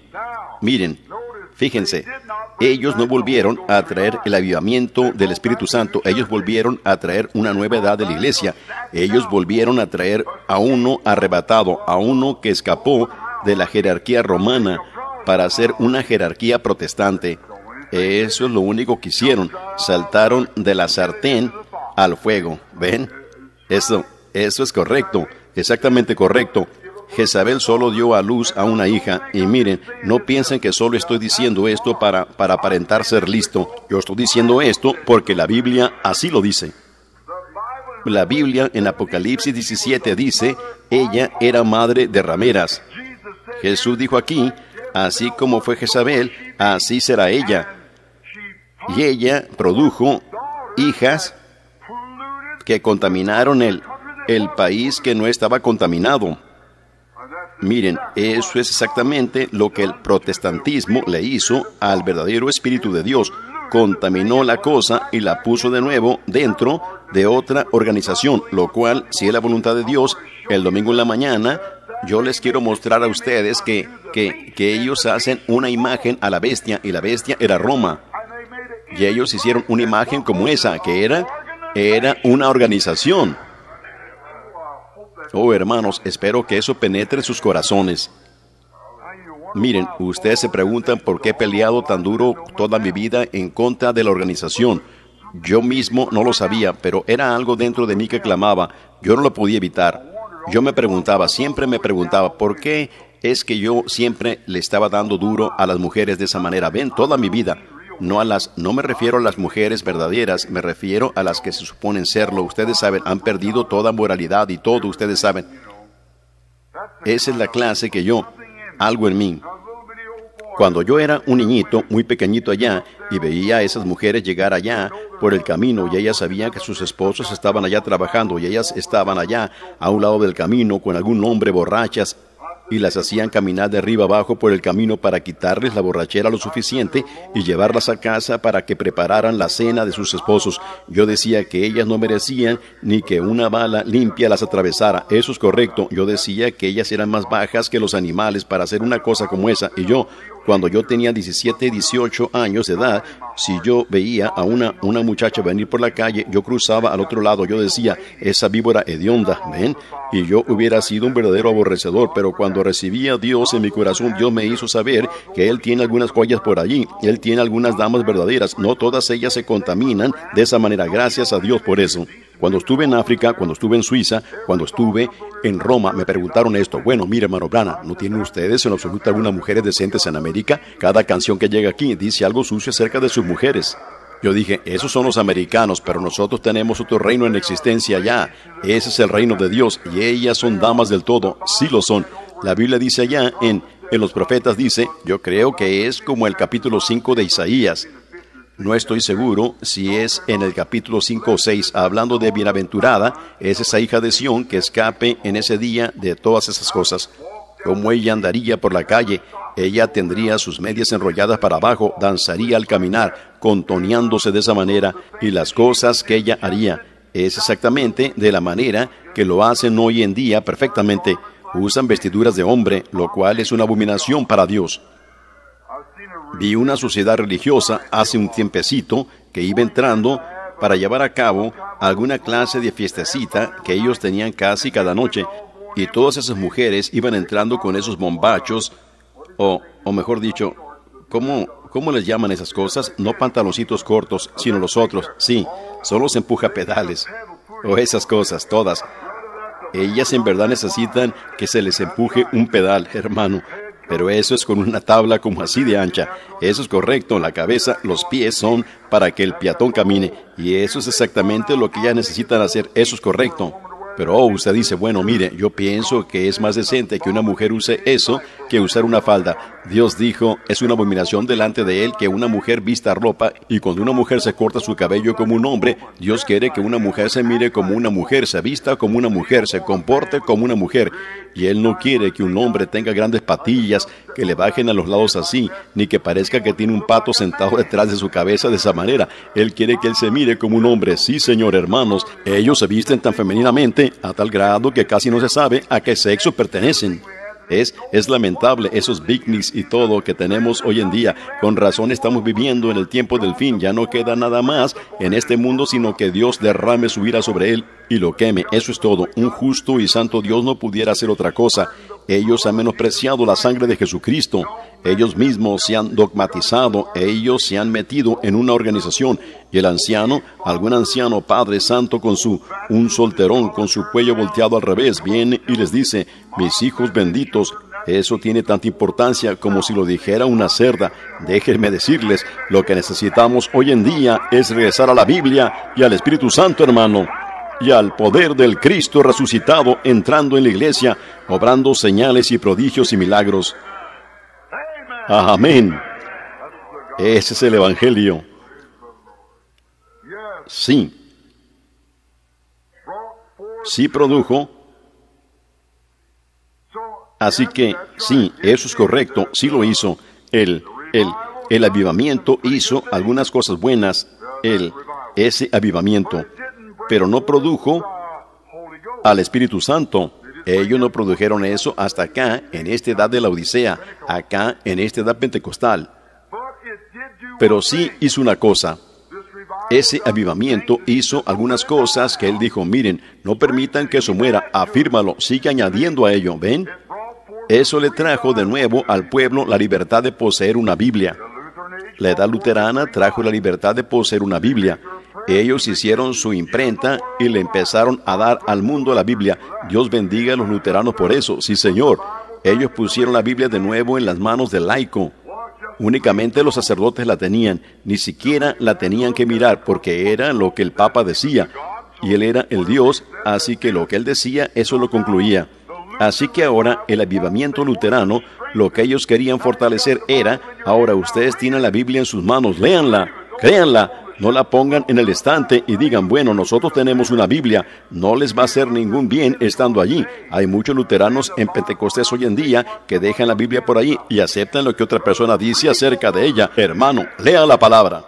Escudriñad las escrituras porque ellas son las que dan testimonio de mí. Dijo Jesús, a vosotros os parece que en ellas tenéis la vida eterna. Eso es lo que se debe hacer. Lean la palabra. Miren, Él dijo, retengan eso y no. No permitan que eso se les escape. Y otra cosa que él quería que ellos retuvieran era que les quedaba poca fuerza, era el avivamiento luterano. La segunda cosa que hizo fue que trajo a luz la doctrina de justificación. Los católicos no aceptan la justificación. Es la Iglesia Católica así como ese sacerdote que ellos lo tuvieron que quitar de la radio aquí hace tiempo. Él dijo, no hay ninguna otra salvación en ningún otro lugar sino en la Iglesia Católica. La salvación está en Cristo, no está en la Iglesia Católica, no está en la Iglesia Protestante. La salvación está en Cristo. Pero los católicos creen a ellos no les importa lo que dice la Biblia, es lo que la iglesia dice, ven, y uno no puede hablar con ellos porque no hay manera, no hay manera de hablar con ellos, a ellos no les importa, ellos tienen, ellos le hablan respecto a su catecismo o respecto a cualquier cosa como esa, pero cuando se trata de la Biblia, ellos, ellos sencillamente desechan eso, es lo que la iglesia dice. Jesús dijo, en este mismísimo libro, Jesús mismo dijo, si alguno quitara alguna cosa o añadiere alguna cosa a ella, él quitará su parte del libro de la vida. Jesús dijo que la palabra de todo hombre sea mentira y la mía sea veraz. El cielo y la tierra pasarán, pero mis palabras no pasarán. ¿Es correcto eso? Oh, ahí lo tiene, hermano. Yo soy un creyente en la palabra de Dios. Eso es correcto. Y no únicamente esa palabra que Dios habla allí, sino que luego yo le pido al Padre Celestial que me dé el Espíritu Santo para confirmar esa palabra, para hacer que Cristo viva dentro de mí. Así que yo sé que tengo vida eterna, no porque yo la merezca, sino porque me la ha dado su gracia. Esa es la roca. Sobre esta roca edificaré mi iglesia, dijo él. Muy bien, justificación. Muy bien. La cosa de esto que después de que ellos ya habían producido algo que ellos no lo debían dejar morir, y eso era que ellos tenían la Biblia en sus manos otra vez. Los luteranos hicieron eso. Y otra cosa era que ellos tenían la doctrina de justificación por fe. Eso es lo que Lutero enseñó. Todos saben eso, que esa fue su doctrina. Justi, ¿no pueden ver qué tan perfecto es eso? Luego vino Wesley con santificación. Luego vinieron los pentecostales con el bautismo del Espíritu Santo. Ven tan perfectamente. Miren yo. Tienes unas cuantas cosas. Mira, reténlas. Y, y no las dejes morir. Si no retienes eso, vendré pronto como un ladrón y tú volverás a entrar a la denominación otra vez. Y eso es lo que hicieron. Exactamente. Volvieron a entrar. Regresarás otra vez a los Nicolaitas porque volverás a salir como una denominación. Manténganse firmes, sigan leyendo esa Biblia y retengan la justificación y sigan esforzándose a seguir adelante. Pero hubo un pequeño remanente que salió de allí, un pequeño remanente. Después del primero vino Lutero, y luego vino Zwinglio y los demás, Calvino y los que siguieron y los demás, hasta llegar a Wesley. Pero hubo un pequeño remanente que salió de allí que enseñaba la santificación. Y de la santificación salió un pequeño remanente que siguió adelante y entró en el Espíritu Santo. ¿Ven? Ese pequeño remanente por toda la trayectoria allí, manteniendo eso, eso vivo. Muy bien. Pero en tercer lugar, con eso trajeron con ellos tantas de las formas paganas de doctrina, tales como la denominación, el bautismo falso. Miren, ellos salieron rociando de esa manera y con Padre, Hijo y Espíritu Santo trajeron el catecismo.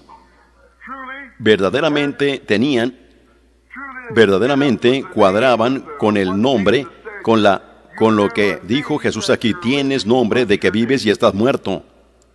Eso es correcto, muy bien. En cuarto lugar, es verdad que la reforma sacó muchas de sus reliquias y, y ritos pulidos y todo lo demás, pero falló en la iglesia y en la restauración de traer la reforma. Falló en restaurar de nuevo la enseñanza del Evangelio completo con las señales siguiéndole. La iglesia luterana nunca tuvo eso. Nunca lo tuvieron ellos y nunca lo tuvieron en la edad wesleyana. Solo lo tuvieron al fin de esta edad de la Odisea. Miren, cuando entremos en eso, entraremos de nuevo en las escrituras y les mostraré exactamente cómo ellas lo prometieron. Ellos no tuvieron, no restauraron el avivamiento del Espíritu Santo. Ellos sí se apartaron de los ídolos, y ellos se apartaron de los ídolos, eso es verdad. Ellos quitaron los ídolos de la iglesia, María, José y, y Pedro y Pablo y todos ellos, ellos se apartaron de los ídolos, pero no se volvieron al Cristo resucitado. Lutero los apartó de los ídolos, pero entraron más como en una política o a una o a una denominación o a una organización para ellos mismos formar solo otra organización, una imagen como la primera y tratar de crecer más que ella por medio de la denominación. Y ahora todavía están peleando. Los metodistas todavía quieren que todos los bautistas sean metodistas y todos los luteranos quieren que todos los bautistas y metodistas sean luteranos. Los pentecostales quieren que todos los bautistas, luteranos y todos los demás sean pentecostales. ¿Ven? Solo siguen añadiendo a la denominación de ustedes, pero ese no es el programa de Dios en primer lugar. El programa de Dios para la restauración era volver a traer aquello que fue desde el principio. Miren, resucitar aquello. Si este libro se cae al suelo y si tomo otro libro y lo pongo en lugar de él, eso no es restauración o resurrección. Uno tiene que levantar el mismo que se cayó. Amén. Así que si la iglesia murió durante la edad del oscurantismo y llegó a ser completamente pagana aquí, entonces la restauración, la esa es una reforma, el reformar. Pero el ser reformado y el ser nacido de nuevo son dos cosas diferentes. ¿Ven? Ellos trajeron de nuevo la reforma, reformando, apartándose de muchos de sus ídolos y todo lo demás, pero nunca trajeron al Espíritu Santo de nuevo dentro de la iglesia. Oh, bendito sea el nombre del Señor. Hermano, hermana, ¿lo pueden ver? Nunca trajeron de nuevo al Espíritu Santo, porque el que realmente trae la verdadera luz del Evangelio, piensen cuidadosamente ahora, el que trae la verdadera luz del Evangelio es el ángel de la iglesia aquí al fin. Y ustedes van a ver eso el domingo. Miren, ellos tendrán luces tras luces y luz cristiana, pero cada una de ellas entrará de nuevo en esa organización, pero vendrá uno que se parará en contra de ella. Sí, Señor. Y de allí Él arrebatará un remanente tan cierto como estoy parado en este púlpito. Eso es correcto. Y Él se dirigirá directamente de nuevo al principio.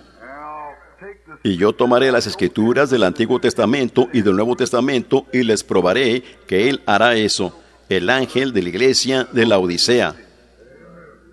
Eso es correcto, se dirigirá directamente de nuevo al original y resucitará de nuevo esta cosa de aquí y la resurrección vendrá en el día de esto aquí. Eso es correcto, pero Lutero arrebató a la iglesia, la que escapó, la que escapó un solo paso, Santi, justificación, la que escapó. Él sacó un pie fuera del paganismo. Eso está bien. En la siguiente ocasión sacará fuera dos pies, eso es todo. Así como se fijaron ustedes en la Biblia que había que había agua que salía de la parte de atrás del templo y él dijo que él vio agua hasta las rodillas. Luego, en la siguiente ocasión, el agua que vio le llegaba hasta su cintura y la siguiente ocasión subió más arriba de su cabeza, pero cuando subió más arriba de su cabeza, él tuvo que llegar a un punto en que él podía nadar. Ven, él tuvo que nadar. Así que estamos llegando ahora a un punto en el que es o nadar o ahogarse. Eso es todo. Una de dos los ahogará y los hará que se alejen completamente o los hará entrar. Así que es o nadar o ahogarse, aleluya. Oh, estoy tan contento por el Espíritu Santo. Ustedes no. Estoy tan contento que puedo decir que soy uno de ellos. Uno de ellos. ¿De cuál de ellos? No de estos, de esos o de esos, sino de aquellos. Estoy tan contento que puedo decir que soy uno de ellos. Aleluya. Uno de ellos. Uno de ellos. Estoy tan contento que puedo decir que soy uno de ellos. ¿No suena bien eso? Escuchen. Ellos estaban reunidos en el aposento alto, orando todos en su nombre. Fueron bautizados con el Espíritu Santo y vino poder para servicio. Lo que Él hizo por ellos ese día Él hará lo mismo por ti. Estoy tan contento que puedo decir que soy uno de ellos. Uno de ellos. Uno de ellos. Estoy tan contento que puedo decir que soy uno de ellos. Aleluya. Uno de ellos. Uno de ellos. Estoy tan contento que puedo decir que soy uno de ellos. ¿Asistieron ellos a los seminarios? No. Algunos de ellos ni siquiera podían escribir sus propios nombres. Eso es correcto, Pedro no podía. La Biblia dice que era un hombre del vulgo y sin letras, él y Juan, pero ellos les tuvieron que reconocer porque sabían que ellos habían estado con Jesús.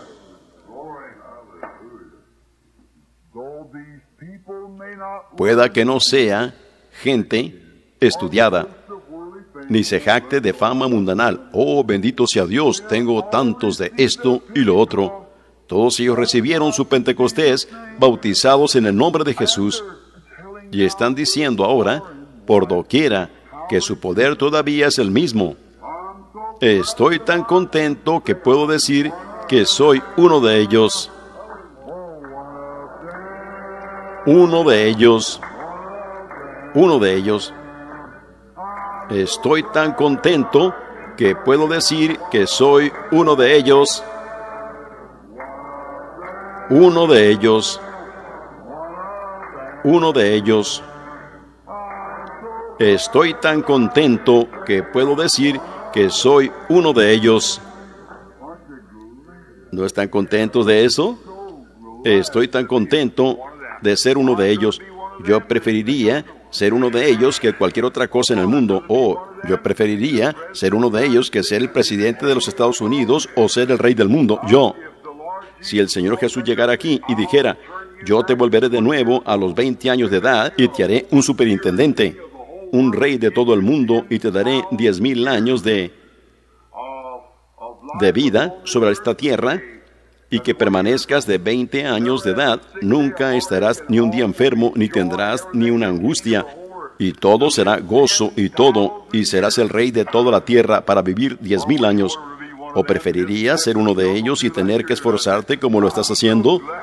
Yo diría, estoy tan contento que puedo decir que soy uno de ellos. Después de diez mil años, ¿luego qué? Pero esto es eterno. ¿Cómo vino esto, hermano? Oh, esto ha sido, ha venido por medio de la sangre, eso es correcto, ha venido desde muy lejos. Y vino por medio de Dios, que se hizo carne y habitó entre nosotros. En un pesebre hace mucho, yo sé que es la verdad. Un bebé nació para salvar al hombre de sus pecados. Juan lo vio en la ribera, el Cordero para siempre. Oh Cristo, el crucificado del Calvario.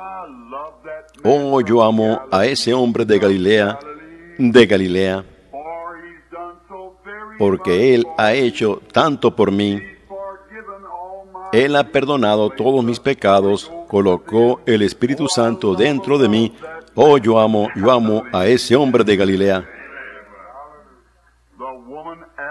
La mujer en el pozo, todos sus pecados, Él le dijo, Él es el mismo ayer, hoy y para siempre. Y como cinco esposos ella tenía en ese entonces, le fue perdonado todo pecado y una paz profunda fue puesta dentro de ella. Ella clamó, vengan a ver a este hombre de Galilea. Oh, yo amo a ese hombre de Galilea, de Galilea, porque él ha hecho tanto por mí. Él ha perdonado todos mis pecados, colocó el Espíritu Santo dentro de mí. Oh, yo amo, yo amo a ese hombre de Galilea. Un publicano fue a orar allá en el templo un día. Él clamó, oh Señor, sé misericordioso conmigo. Él fue perdonado de todo pecado y una paz profunda vino dentro de él. Él dijo, vengan a ver a este hombre de Galilea. Me gusta eso, ¿ustedes no? Al cojo lo hizo andar, al mudo lo hizo hablar. Ese poder fue hablado con amor sobre el mar. Al ciego lo hizo ver. Yo sé que eso solo podría ser la misericordia de ese hombre de Galilea. Cántenla conmigo. Oh, yo amo a ese hombre de Galilea, de Galilea, porque Él ha hecho tanto por mí. Él ha perdonado todos mis pecados, colocó el Espíritu Santo dentro de mí. Oh, yo amo, yo amo a ese hombre de Galilea. ¿No lo aman? Oh, hermanos, este buen Evangelio del Espíritu Santo, oh, yo lo amo. Yo lo amo a Él con todo mi corazón y estoy tan contento esta noche de que soy contado con ellos. Y estamos juntos como hermanos y hermanas bautistas, metodistas, católicos, presbiterianos, sean lo que sean. Dios nos ha sacado de todas profesiones y condiciones sociales y nos ha traído aquí a este gran compañerismo del Espíritu Santo. No pertenecemos a ninguna denominación. Lo que ellos hagan depende de ellos, pero nosotros estamos en un reino místico. Somos bautizados en el cuerpo místico de Jesucristo por el Espíritu Santo, ya sean metodistas, bautistas, presbiterianos, y el que quiera que venga. Y Jesús dijo, todo lo que el Padre me da, vendrá a mí, y ninguno de ellos se perderá, y yo los resucitaré en el día postrero. Oh, hermanos, solíamos cantar una alabanza antigua aquí en el altar. Yo no sé si la podamos cantar o no. Lugar, lugar, sí, hay lugar, hay lugar en la fuente para mí. ¿Les gustan esas alabanzas antiguas como esa? Que alguien nos dé un tono, alguien que sepa cómo empezarla. ¿Dónde está nuestra pianista? ¿Está ella aquí? ¿O está aquí el hermano Terry o alguno de ellos? Oh, hermanos, yo, yo no lo veo a él en ninguna parte. Lugar, lugar. Sí, hay lugar. Hay lugar en la fuente para ti. Lugar, lugar. Sí, hay lugar. Hay lugar en la fuente para ti. ¿Les gustan esas alabanzas antiguas? Y a mí también me gusta esta. Fue mi Jesús, el que allí murió, y mis pecados Él perdonó. La hermosa sangre que Él vertió. Gloria al Salvador.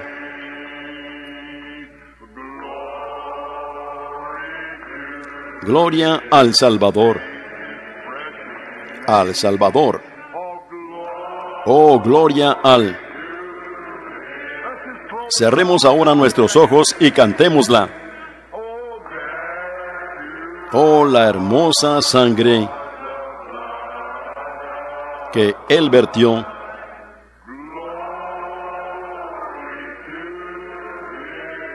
Gloria al Salvador. La hermosa sangre que Él vertió. Todas mis manchas ya quitó.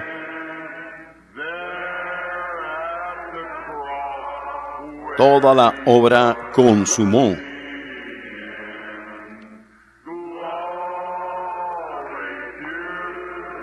Gloria al Salvador.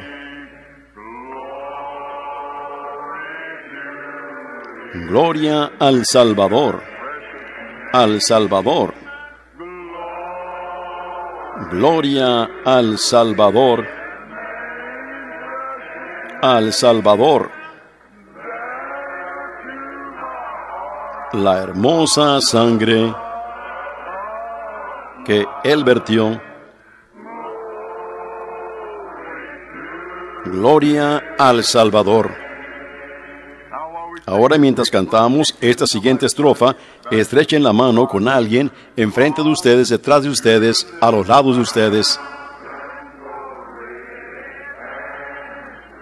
Qué bueno eres, oh mi Jesús por mí moriste en una cruz y me estoy gozando en pura luz. Gloria al Salvador.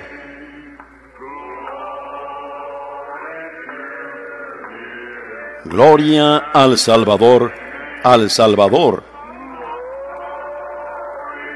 Gloria al Salvador. La hermosa sangre que Él vertió. Gloria al Salvador. Oh, yo amo eso. ¿Ustedes no?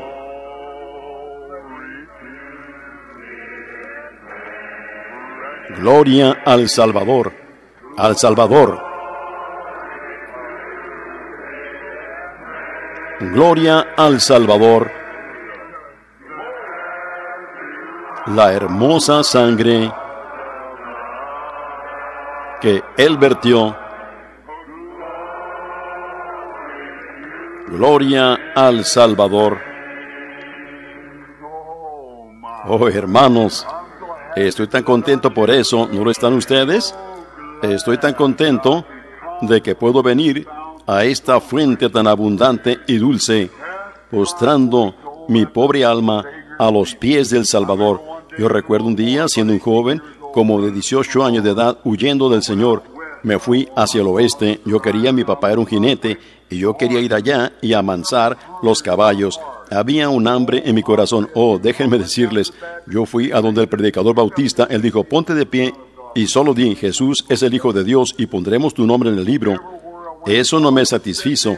A donde quiera que iba alguien, el de los adventistas del séptimo día, lo fui a ver a él, un buen hombre, el hermano Barker, un hermano amable, él dijo, Billy, ven y acepta el reposo del Señor. Ya lo he aceptado ahora, pero él dijo, el día de reposo, y yo pensé, oh, qué cosa, todavía no es eso. Ven ustedes, me fui hacia el oeste y pensé, fuimos allá muy lejos esa noche, estábamos en el encierro, y ustedes saben, uno quitaba la silla de montar y la bolsa para acampar, y la extendía y usaba la silla de montar como almohada, y yo estaba recostado allá, bajo esos grandes pinos esa noche, y yo estaba trabajando en el turno de día, y así que los muchachos que trabajaban en el turno de la noche estaban allá trayendo el ganado y había un hombre al que le decían Slim, de Texas, él tenía una, una guitarra allí, y él estaba tocando Gloria al Salvador.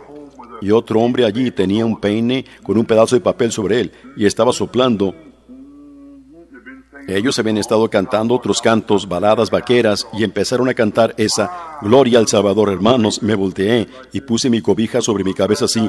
Miré de nuevo, destapándome, ustedes saben, y parecía que esas estrellas estaban suspendidas allí, cerca de la copa de esos árboles y de esas montañas, en ese murmullo perpetuo de los pinos. Yo lo podía oír a él decir, Adán, ¿dónde estás tú?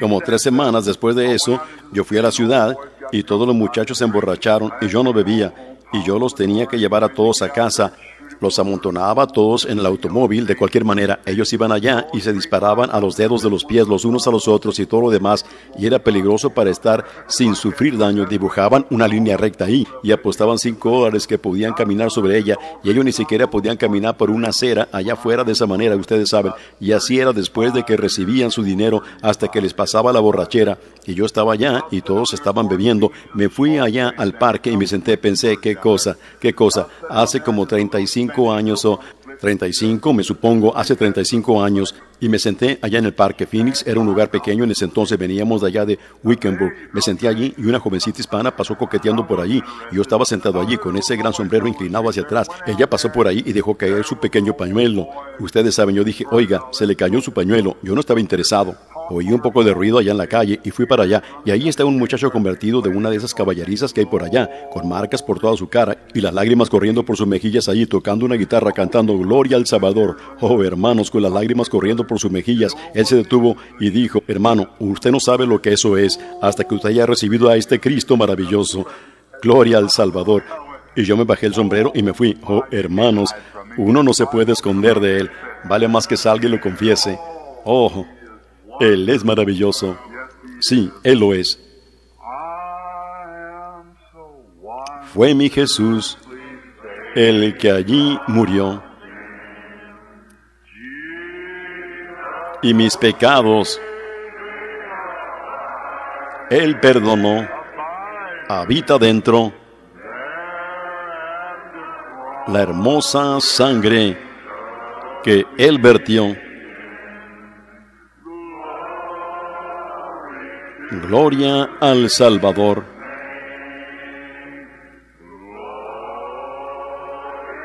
Gloria al Salvador. Salvador. Gloria al Salvador.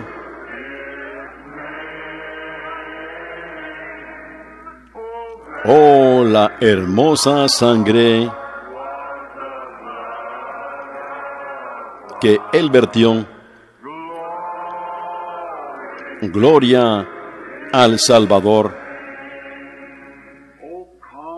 Oh, qué bueno eres. Oh, mi Jesús. Por mí moriste en una cruz. Oh, y estoy gozando en pura luz. Gloria al... Ahora inclinemos nuestros rostros y levantemos nuestras manos ahora. Gloria al Salvador. Gloria, gloria. Oh Dios, al precioso Salvador, la hermosa sangre que Él vertió. Gloria al Salvador. Gloria a Dios. Pongámonos de pie. Oh, esperen un momento, solo esperen, esperen. my people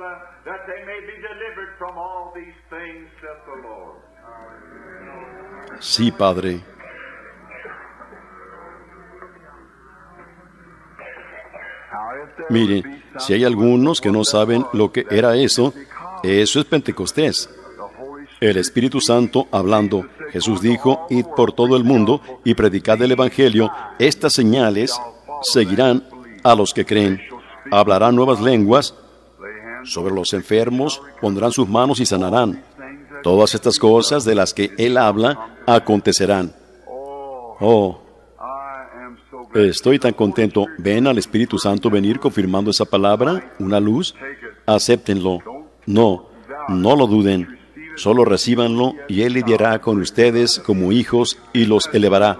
¿No es eso dulce de parte del Espíritu Santo?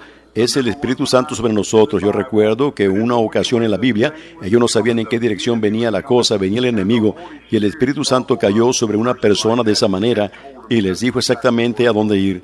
Y ellos fueron para allá, y Dios confundió al otro ejército y los derrotó. Eso es correcto. Oh, todavía vivimos en los días de la Biblia, ¿no es así? Amén, siempre, mientras que el Espíritu Santo esté allí. Oh, pongámonos de pie mientras cantamos de Jesús. El nombre invoca. Recuerden el mensaje. Búscale con vivo afán.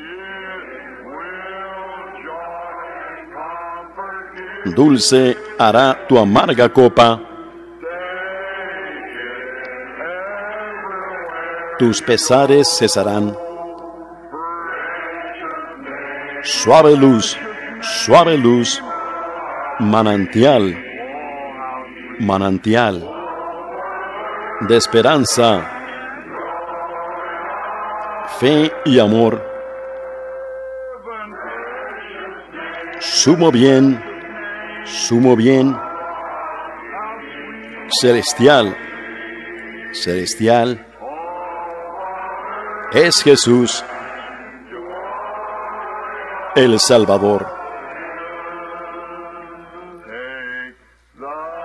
De Jesús, el nombre adora.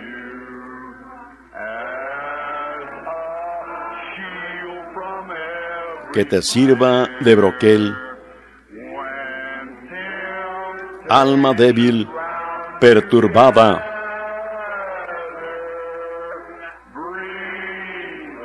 Hallarás asilo en él. Alabado sea Dios, suave luz, suave luz, manantial. De esperanza,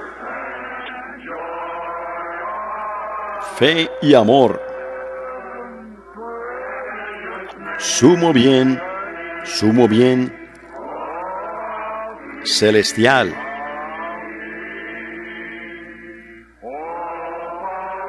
Es Jesús, el Salvador.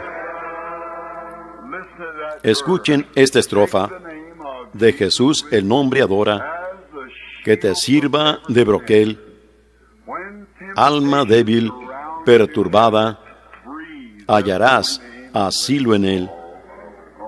Oh, cantémosla otra vez. De Jesús el nombre adora.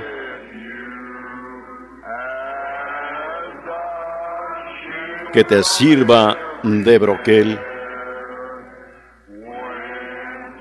Alma débil, perturbada.